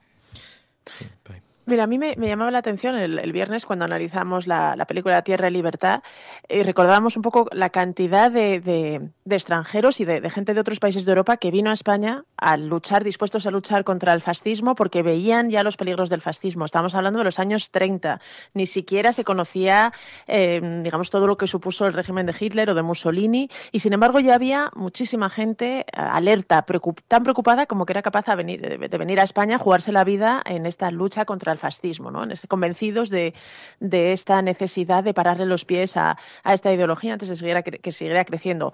Y sin embargo ahora es verdad que, se asiste a, este fenómeno con, preocupación, pero, pero no con tanta preocupación. Y, en este sentido, en España en concreto, el, fenómeno es verdad que es diferente, a lo mejor un poco diferente al, al del resto de Europa, entre otras cosas porque además Santiago Abascal, el fundador de Vox, era miembro del Partido Popular, es una escisión del Partido Popular. Y además eh, es verdad que el Partido Popular siempre se ha dicho que en cierta forma aglutinaba a, todos los a todo el espectro de la derecha. Entonces la, situación en España es, complicada, pero a mí sí que me resulta llamativo eso, ¿no? Como en determinados momentos históricos se ha tenido muy claro el peligro que suponía esta ideología y ahora, sin embargo, sí que, sí que observamos que se intenta, se intenta blanquear o se intenta quitar importancia. Hay mucha gente incluso que, que votantes de Vox que dice, pero si yo no soy extrema derecha, ¿por qué me llaman extrema derecha? Pero, pero el peligro está ahí, quizá por eso, ¿no? Porque no, no hay esa conciencia de, del peligro de que ese discurso cale y de que ese discurso esté incluso instalado en la sociedad. También porque yo creo que en España estamos bastante. Luego dicen la responsabilidad de los medios, decían la responsabilidad de la sexta. Bueno, la sexta, Tele5, Antena 3, sistemáticamente entrevistando a la extrema derecha en los medios de comunicación. La cadena SER ha entrevistado a la extrema derecha sistemáticamente. Yo creo que los medios mainstream han sido muy poco conscientes o muy oportunistas mayoritariamente a la hora de introducir. Luego había quien decía, no, pero se puede combatir el discurso de la extrema derecha en televisión. No, no se puede combatir el discurso de la extrema derecha porque se fundamenta en la provocación. Aunque tú intentes combatirlo con datos, da igual si es que los datos no es el objeto de la, de la discusión. El objeto de la discusión es la propia discusión. Y esto, que lo ha descrito George Lakoff, que no se lo está inventando Fernando Berlín, lo que nos debería dar es una cierta alerta ante colocar a esta gente frente a un micrófono, porque a ellos les da igual que sea verdad o mentira lo que están proponiendo. Les da igual cuando tú les dices, bueno, eh, no vais a prohibir la marcha del orgullo porque, entre otras cosas, eh, mueve económicamente. Ellos no quieren ese debate. Si el debate es simplemente que tú les llames y que les des visibilidad y que los que están enfadados como ellos, los que son altivos, los que eh, van por la vida, pues eso, saltándose los semáforos, pues que les escuchen y puedan tener eh, gente con la que identificarse. En un país, además, que nunca ha temido mucho a la extrema derecha, porque ha habido una extrema derecha muy transversal, muy conectada en instituciones, en, en los medios de comunicación. Que ha normalizado, por ejemplo, que todavía sigamos sin poder de exhumar a Franco, ¿no? Pero yo y que en existe eso la Fundación Franco. y que exista la Fundación Franco. En eso, en otras cosas no estoy de acuerdo con Ángel, ya lo he dicho muchas veces, pero, pero en esto sí que estoy de acuerdo. En, no es solamente un problema de los medios de comunicación, es mucho más abierto, es un problema mucho más extendido a toda la sociedad, entre otras cosas, ¿no? Que hemos permitido este, este discurso. Y además yo creo que había claves que podían habernos ayudado. La extrema derecha eh, no, no hay que darles altavoz para decir lo que proponen. Hay que decir por qué es imposible lo que proponen. ¿no? Y esto lo explica George Lakoff, tiene un mecanismo que se llama la, teoría del sándwich y entonces coloca una información, después se explica lo que ellos dicen y se vuelve a dar la información. ¿no? En, en Madrid genera eh, dos millones o tres millones de ingresos durante la Semana del Orgullo. Semana del Orgullo que pretende eliminar Vox y Madrid recupera en sus arcas 3 millones de euros anuales por esto. Esa es la forma de enseñar la noticia de Vox, no decir, Vox habla hoy de prohibir el desfile del orgullo y llevarlo a la casa de campo. Eso no es la manera. Sobre todo porque así lo que consiguen es introducir, bueno, pues en la, agenda, en la agenda política, en la agenda mediática, pues bueno, sus barbaridades, sus propuestas que son unas barbaridades. Y esto, por ejemplo, que los medios de comunicación tenían una oportunidad, que, lo han hecho contra Podemos, pero contra la extrema derecha no lo han hecho.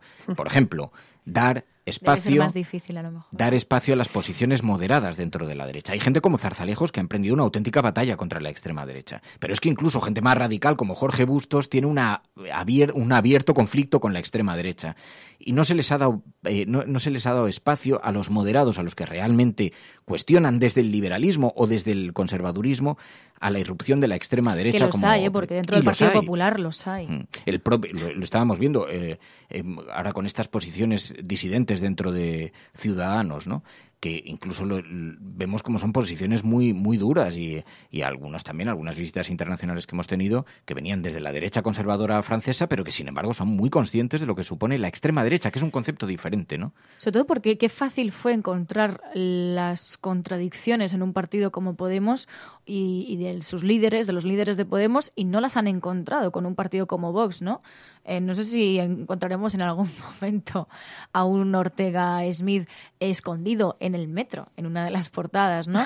es que si hacemos un repaso de, cómo fue el, ataque a una formación como Podemos, eh, vemos, bueno, pues esos favoritismos que hay, sobre todo en un, en un caso tan, tan extremo como es el caso de la extrema derecha, que no ha habido una una cobertura mediática crítica. Bueno, 627-002-002, 627-002-002. ¿Tenéis algo que decir? ¿Queréis incorporaros a esta conversación? 627-002-002. Abrimos el teléfono, pero con llamada. Podéis llamar por teléfono o llamar por teléfono vía WhatsApp. 627-002-002. 002 y podemos conversar, podéis conversar con nosotros aquí en Antena por si queréis eh, introducir algún matiz a esto de lo que estamos hablando, también participar en esta conversación, en este espacio tan abierto a los, a los oyentes. Pay, estabas tratando de decir algo, pero no, no te... Eh, sí, bueno, no, yo, yo, quería, yo quería decir que, por ejemplo, me parece a mí que, que quizá pueda haber ese tipo de ataque a una formación como Vox desde los medios cuando empiece a poner en, cuestión o empiece a poner en, peligro o en evidencia a, lo mejor al gobierno del Partido Popular en, el Ayuntamiento de Madrid. Es decir, si, si existe esta, de, pronto estas tensiones internas, quizá veamos ese tipo de, persecución, ¿no? Por, puro interés a lo mejor eh, político partidista, porque yo sí tengo la sensación de que van a ser unos gobiernos con muchas tensiones internas. A lo mejor me equivoco, pero, pero yo creo que al final, lo que decía, ¿no? Como van a tener eh, los tres partidos, van a intentar salir reforzados y, eh, un poco ser capaces de vender a su electorado que han conseguido imponer su agenda, quizás en algún momento a determinados medios pues más alineados a lo mejor con, el Partido Popular o con, Ciudadanos o con unas posiciones más moderadas les interese en ese caso eh, pues poner lo que decía María no las contradicciones evidenciar las contradicciones de Vox. Vamos a ver vamos a ver qué pasa. Pero sí es verdad que es llamativo la, la diferencia de de trato y digamos de, eso de, ese escrutinio severo que sufrió Podemos en comparación con lo que con lo que se ha visto con Vox que recordemos que hubo la, no la sospecha sino una evidencia bastante clara de que había recibido eh, dinero extranjero a través de para financiar su campaña en las europeas con, con Vidal Cuadras y sin embargo se ha quedado en, agua de borrajas no se ha mm. profundizado nada más no hemos visto el, documento en, en la portada de ningún medio no y luego pero claro periódicos tan dependientes de partido como por ejemplo La Razón, que es muy interdependiente del Partido Popular, sí han ejercido una cierta crítica a la extrema derecha e incluso a Ciudadanos porque ponían en peligro la hegemonía en la derecha del Partido Popular. Bueno, hay que recordar que es el director de La Razón, trabajó en el equipo de Mariano Rajoy, que esto también es insólito en el periodismo en, en, España. Yo no sé si esto es habitual en otros países del mundo, desde luego a mí me sorprende que el director de un periódico haya sido jefe de gabinete de un político que luego ha sido presidente de gobierno, ¿no? Y cuyos mensajes claramente estaban alineados en la portada del periódico, porque digamos que, es que no ha habido un solo atisbo de crítica. Mira, tenemos una, una llamada, se incorpora con nosotros también a... Manuel, buenos días, eres Manuel, ¿no? Hola, Manuel, buenos días. buenos días. La cafetera te escucha. buenos días, Manuel. Sí, sí, sí, ¿me escuchas? Sí, te escucho bien. buenos días. Mira, quería, quería comentar con ustedes, que, bueno, en otras veces lo he, lo he hecho por escrito, que cuando hablamos de que de que este, la situación, la irrupción de Vox, que en realidad Vox estaba dentro del Partido Popular, siempre ha existido, este, sobre todo es la gente que sigue con aquella dinámica y que apoyó y sostuvo al franquismo, ¿no? Entonces, esas personas y ese pensamiento está. No es nada nuevo, simplemente continuar con aquel, aquel adoctrinamiento que ellos entendían que, que era el salvar la patria, la iglesia y a Franco, ¿no? Deduzco por tu acento que eres, eres argentino. Uruguayo, uruguayo. Uruguayo. Y eh, eh, latinoamericano, uruguayo. Y allí como uruguayos tenemos algunos oyentes del, programa, pero este fenómeno del, ascenso de la extrema, no sé si llevas a lo mejor viviendo muchos años en España, pero el ascenso este de la extrema derecha aquí en España, em, desde allí, desde, la, desde Latinoamérica, ¿cómo se observa? Bueno, desde, desde Latinoamérica no lo sé exactamente porque llevo más de 15 años viviendo en España. Entonces, eh, yo puedo hablar de lo que me rodea hoy por hoy aquí, ¿no? Eh, si hablo de, de, cómo se aplica la política de izquierda en Uruguay, que es por la cual trabajo, que es por la que se conforma un frente amplio eh, en España para poder realmente hacer frente a la derecha, ¿no? Mm. Entonces, de ahí, desde ese punto de vista, sí, es notorio que la sociedad española todavía le falta una madurez política, una concientización política para poder llegar a tener unos acuerdos. O sea, todo lo que hemos visto, todo lo que ha sucedido, simplemente... Creo que hemos perdido esa, esa llamada de Manuel eh, ha hablado de la conciencia, sí, me parece que hemos, hemos perdido esa llamada, pero eh, entra Filosofía Perdida. Buenos días. Buenos días, ¿qué tal? Ah, cómo nos gusta escuchar tu voz, filosofía. Sí, Muy buenas. Estábamos hablando con Manuel Uruguayo, nos decía, sí, en España quizá hemos observado siempre la extrema derecha con una cierta complicidad, quizá cultural, ¿no? Yo lo que pensaba era que la ultraderecha dentro de lo que ha sido el régimen ha tenido muchas caras y eso hace que la gente que no se identifica con el fascismo puro de Falange de los años 30, 40 y se identifica a lo mejor con un liberalismo que prohíbe el Partido Comunista, que ataca la lucha obrera, pero que económicamente eh, es aperturista en Europa, pues Vox le resulta como natural. Y es lo que pasa con Esperanza Aguirre y un sector de la población que no, no me llamen fascista, no lo soy, pero sí que son antimarxistas y tal. Y el problema de la ultraderecha es que se normalizó en el franquismo al punto de que eh, los jueces y la policía y todo eso no se depuró. Mm. Eran jueces franquistas y no se depuraron. Y eso hace que la lucha contra ellos, eh, democrática, sea más difícil en España que en Francia, que está todo claro. Está muy bien visto porque además, fíjate, uno de los rumores que se extendían por los oscuros callejones de la corte madrileña es que Esperanza Aguirre estaba detrás de alguna de las reuniones que se habían hecho para buscar financiación para Vox y que había conseguido acercar a... Y esto se ha especulado mucho en los oscuros callejones de la Corte madrileña. Decían, oye, pues Aguirre es de las que está movilizando recursos y está ayudando y presentando gente a este eh, muchachote Abascal que trabajó en una fundación promovida por Esperanza Aguirre. O sea, que tienen un vínculo que es fácilmente contrastable. No sé si será verdad o no, pero lo cierto es que ha estado siempre en la, en la esta. Así que em, incluso más allá de lo cultural, como tú dices, eh, hay, hay digamos, eh, vasos comunicantes que, muy, muy probablemente sean, sean reales, ¿no? Pero tenemos una asignatura. Oye, ¿cómo estás tú? Pues yo bien. Me dejé el Twitter y lo cedí a una persona de más o menos de la misma línea y estoy ahora mismo en un proceso de desconexión. Muy bien. Ah, para, para salir dentro de, poco del país y refugiarme en un lugar perdido. Sí, que creo que te vas a vivir al extranjero. Eh, sí. Bueno, nos alegra que encuentres un oasis en algún lugar. En todo caso, esperamos que sigas eh, siendo oyente de la cafetera. Sabes que nos gustan antes tus reflexiones cuando las haces, pero también tu presencia y tu proximidad nos gusta mucho. O sea que. Bueno, quién sabe si puedo hacer de, de corresponsal como la cafetera hará conmigo de, hilo de Ariana con, España. Eso esperamos de ti, eso esperamos. Bueno, y sobre todo que nos cuentes cómo va ese proceso de desconexión. ¿Cuáles son las consecuencias de quitarte Twitter y estas cosas? pues la verdad que genera adicción. Entonces, cuando te lo dejas, me ocurre que veo ahora la actualidad y enseguida me sale un pensamiento, me sale alguna cosilla, digo, no, te sale un tweet, sigue, sigue sin tener cuenta. bueno, quién sabe si no, si no volverás luego dentro de un tiempo. Bueno, creo que no vas a estar en la desvirtualización del 13 de julio, creo que no podrás estar, me parece. No puedo por trabajo, pero sí estaré en la siguiente en, en las cuevas de Cañat y en, y en Castellote. Ya, yo lo que pasa es que no voy a poder estar este año con vosotros, no, no, estaré todavía por ahí, me da mucha pena, pero además aquí hasta que no esté formado gobierno casi es que tenemos los pies atados al suelo, pero...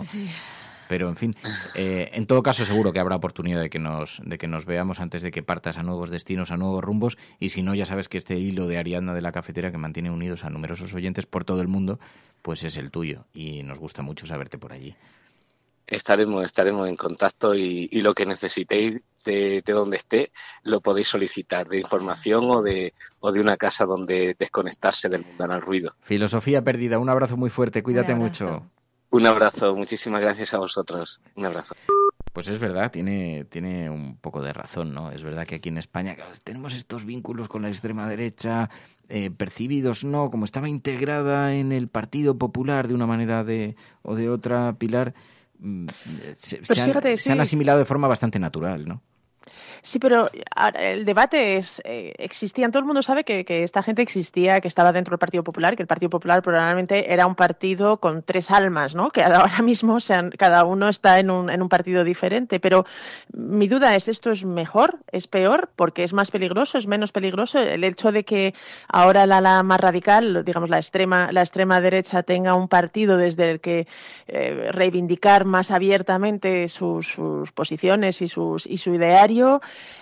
beneficia, nos beneficia como sociedad o, al revés, ¿no? El hecho de que el Partido Popular eh, pues un poco lo, absorbiera, y lo, pero lo fuera diluyendo, porque creo que no se puede acusar al Partido Popular, ni mucho menos, de haber ejercido y de haber sido un gobierno de extrema derecha. El hecho de que ahora haya una formación eh, realmente, eh, yo tengo la sensación de que es más peligroso y, nos va a dificultar más la vida como, como sociedad, pero es verdad que es un debate que está ahí. Tiene más sentido que estén divididos en tres o que estén aunados en un solo, en un solo partido. Eh, bueno, claro, es que esa es la, paradoja también de España, que pensábamos que cuando se dividiese la derecha, la izquierda eh, bueno, pues sacaría rédito electoral de eso, pero claro, como, como decían en Twitter, ¿qué, pasa si se divide la, la, derecha, llega la extrema derecha? Bueno, pues que lo que ha hecho la izquierda es dividirse todavía más. No, pero, pero cuidado, ¿eh? porque eh, tenemos, eh, podemos tener el riesgo de entrar en un espejismo viendo que lo que ha ocurrido en Madrid representa el triunfo de las derechas, pero han perdido muchísimo poder territorial, muchísimo poder territorial, porque la ley electoral española penaliza la fragmentación y aunque Madrid aparentemente es una gran gesta para el Partido Popular, que por eso no lo iban, por eso las negociaciones probablemente el Partido Popular ha cedido todo lo que podía ceder, porque necesitaba el ayuntamiento y la comunidad para recolocar a decenas de personas que se han quedado fuera después de las elecciones generales, que se han quedado tumbadas por el resultado electoral. Así que es, un, es, una fórmula de recolocación. Pero cuidado con el espejismo, porque el poder territorial ha perdido muchísimo poder territorial el Partido Popular. Pero lo sigue teniendo. al final. En los eh, grandes lugares, ¿no? Ha, habido numerosos ayuntamientos del Partido Socialista. Lo que pasa es que está todo muy embadurnado por lo ocurrido en Madrid y por este titubeo en Barcelona. Pero, pero, y luego no tiene perdona, no tiene posibilidad de gobernar, eh, digamos, el país ahora mismo, ¿no? Es decir, a falta de... Que es una cosa que yo recuerdo hace dos años... que era Pedro Sánchez. Sí, pero quiero decir, no hay alternativa. Es decir, no, el partido, ninguno de los candidatos de la, de la derecha o digamos, ninguna alianza es viable para, para que gobierne un candidato de la derecha. Yo recuerdo haber tenido las conversaciones con vosotros hace un par de años diciendo, madre mía, es que la izquierda no va a volver a gobernar en, décadas en España. Y sin embargo, ahora mismo estamos en un escenario en que es más bien lo contrario, ¿no? Ahora mismo la derecha no tiene tampoco demasiadas posibilidades de, de gobernar al menos el gobierno central y, lo que es España. Sí, sin embargo, lo, pero lo que sí que han demostrado es que es mucho más fácil los pactos entre las derechas que entre las izquierdas como siempre. Entonces, yo, yo por eso destacaba, ¿no? Que, que no, no tienen complejos en eso, ya lo hemos visto. O sea, al final Ciudadanos, Partido Popular y Vox eh, han repetido esa fórmula de, de Andalucía. Entonces, Ahora sería interesante saber, Mira, es decir, porque, ah. porque siempre los pactos, el bipartidismo al final ha contado mucho con los nacionalistas catalanes y vascos moderados. En este momento la, esta, esta ecuación ha saltado por los aires por la, por la crisis catalana, pero si el Partido Popular tuviera oportunidad de, gobernar con el apoyo de, o el Partido Popular, digamos ahora mismo, con Ciudadanos, incluso con Vox, si tuviera oportunidad de, de gobernar con el apoyo de los nacionalistas catalanes moderados o los que fueran, ¿lo aceptaría? No, a mí no me cabe ninguna duda, vamos, ninguna duda, absolutamente Siempre es así. irónico el, poder. en eso la derecha es bastante se estructura en torno al, poder y sabe perfectamente que más allá de los de los matices hay que llegar a porque una vez estás en las instituciones luego ya luego ya te, defiendes, ¿no? Pero fíjate un, un titular de la Sexta: el PSOE aumenta su poder territorial y consigue cuatro capitales de provincia más.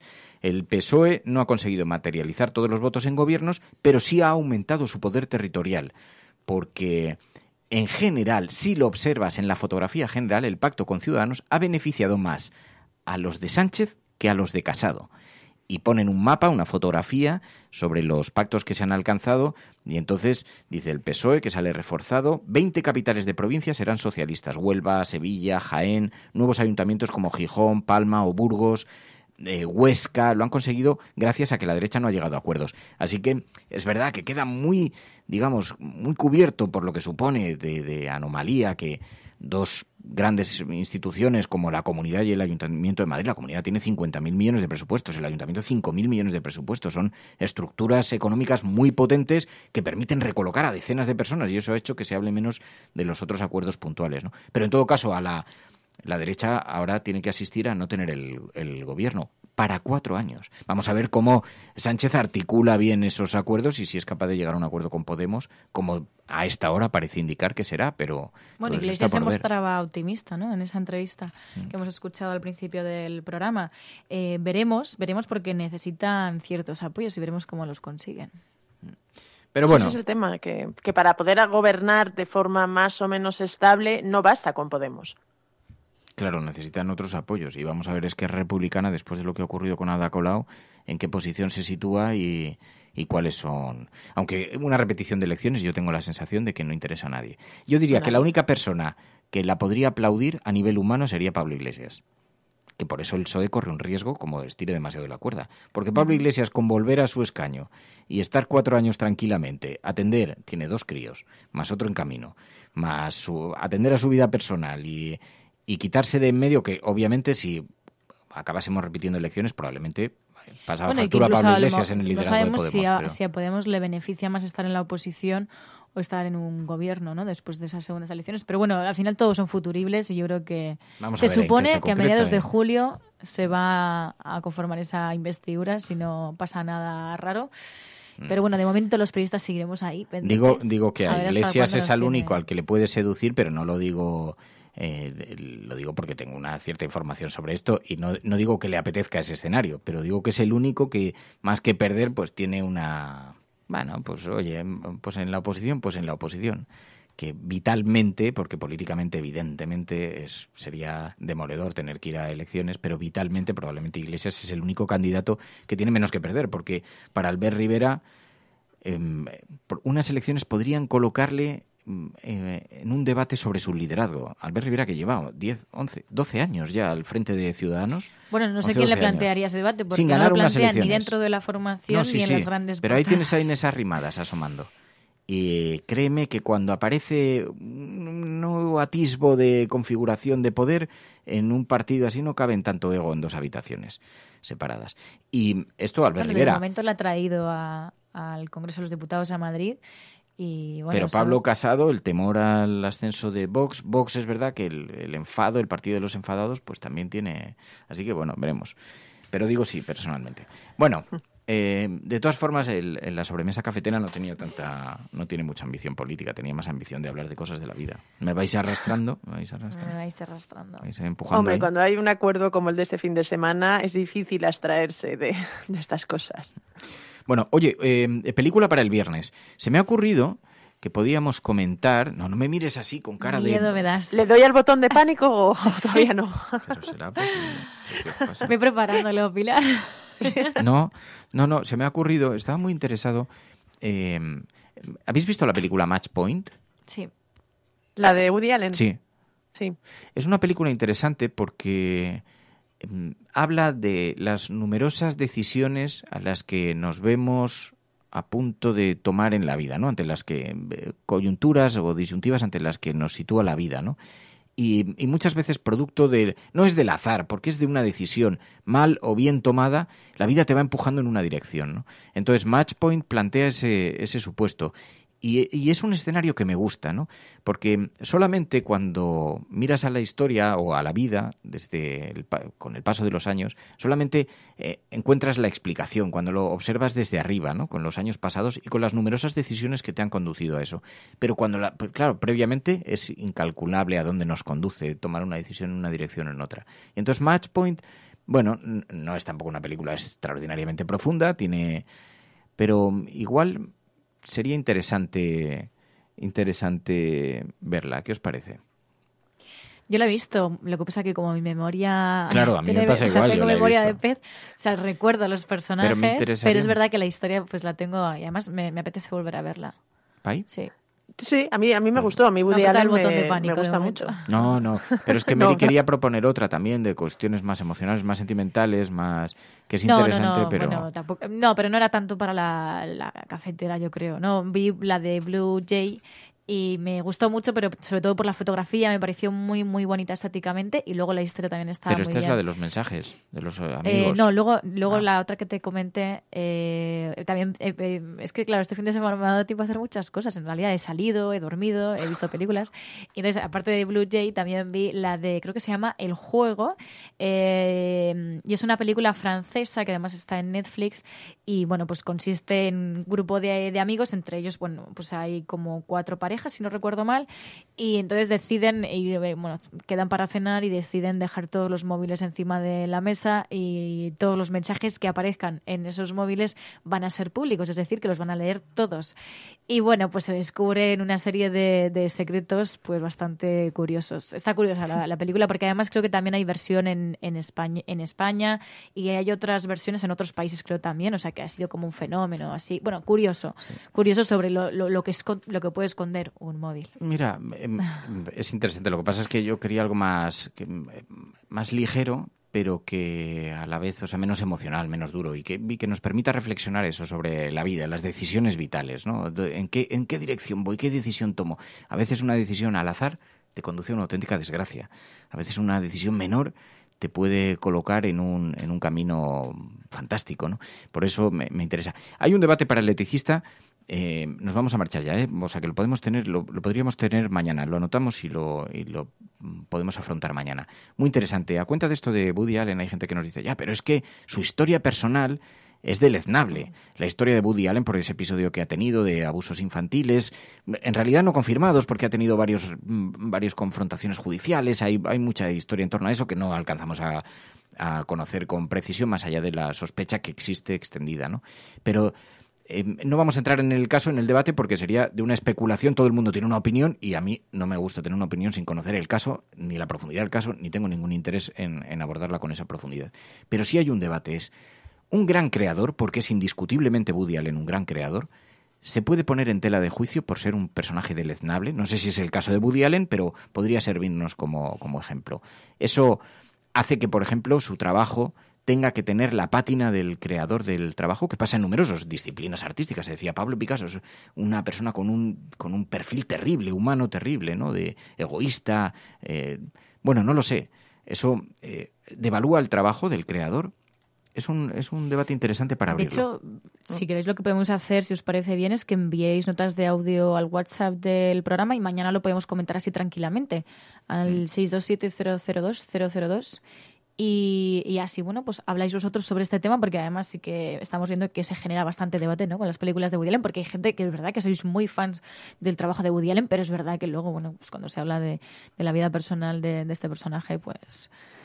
Bueno, eh, pues podéis enviar vuestras notas de audio. Vale, en ver, cualquier caso, Match Point es verdad que es una de las películas en ese sentido que rompe un poco con la con el discurso habitual o digamos con la con el tipo de películas que hace que ha hecho Woody Allen, ¿no? También Woody Allen nunca ha sido tampoco muy lineal, pero pero sí que digamos mantenía una una estructura similar y Match Point es verdad que en ese sentido destacó destacó bastante y yo sí soy una, una gran fan de Woody Allen entendiendo pues un poco eso, ¿no? Que el, el personaje y la obra son dos cosas son dos cosas diferentes, pero pero sí que ahí tenemos un debate para como dice, largo y tendido. Como dice Mamen Páez, Picasso podría ser un machista irredento, pero era un extraordinario, un maravilloso pintor. Y, mm. y, bueno, hay numerosos ejemplos a lo largo de la historia. Habrá gente que considere, oye, yo no soy incapaz de disociar una cosa de la otra. A mí la persona me parece que es la obra, la obra la persona, y entonces no, no, no soy capaz de disociarlo.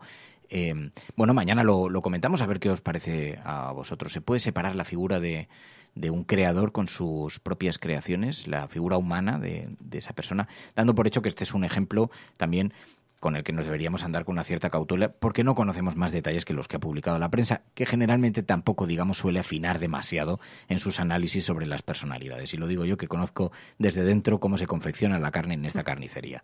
Así que, bueno, Pilar, gracias de corazón. Mañana más. Eso, mañana más. Gracias a vosotros. Venga, hasta mañana. Gracias. Mary, muchas gracias. Adiós a todas. Gracias de corazón. Mañana, mañana volvemos. Bueno, y muchísimas gracias a todas por vuestra compañía. Mañana en la cafetera volvemos.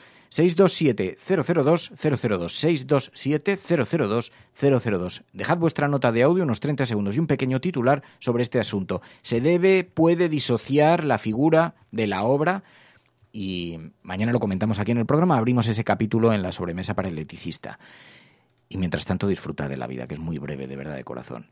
Miradla con, con los ojos bien abiertos. Esto es la cafetera y si lo estás escuchando, eres la resistencia y no estás sola allí donde estéis. Buenos días, buenas tardes o buenas noches.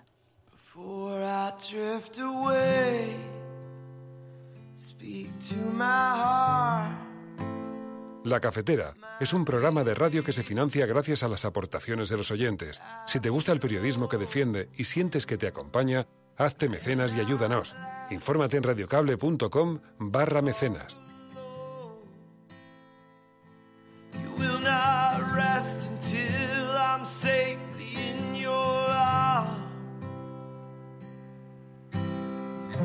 Your new every day, off of my wandering,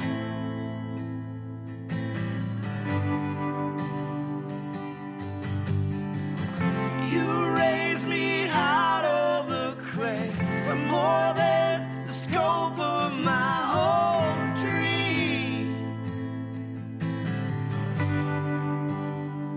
There's a blood that speaks better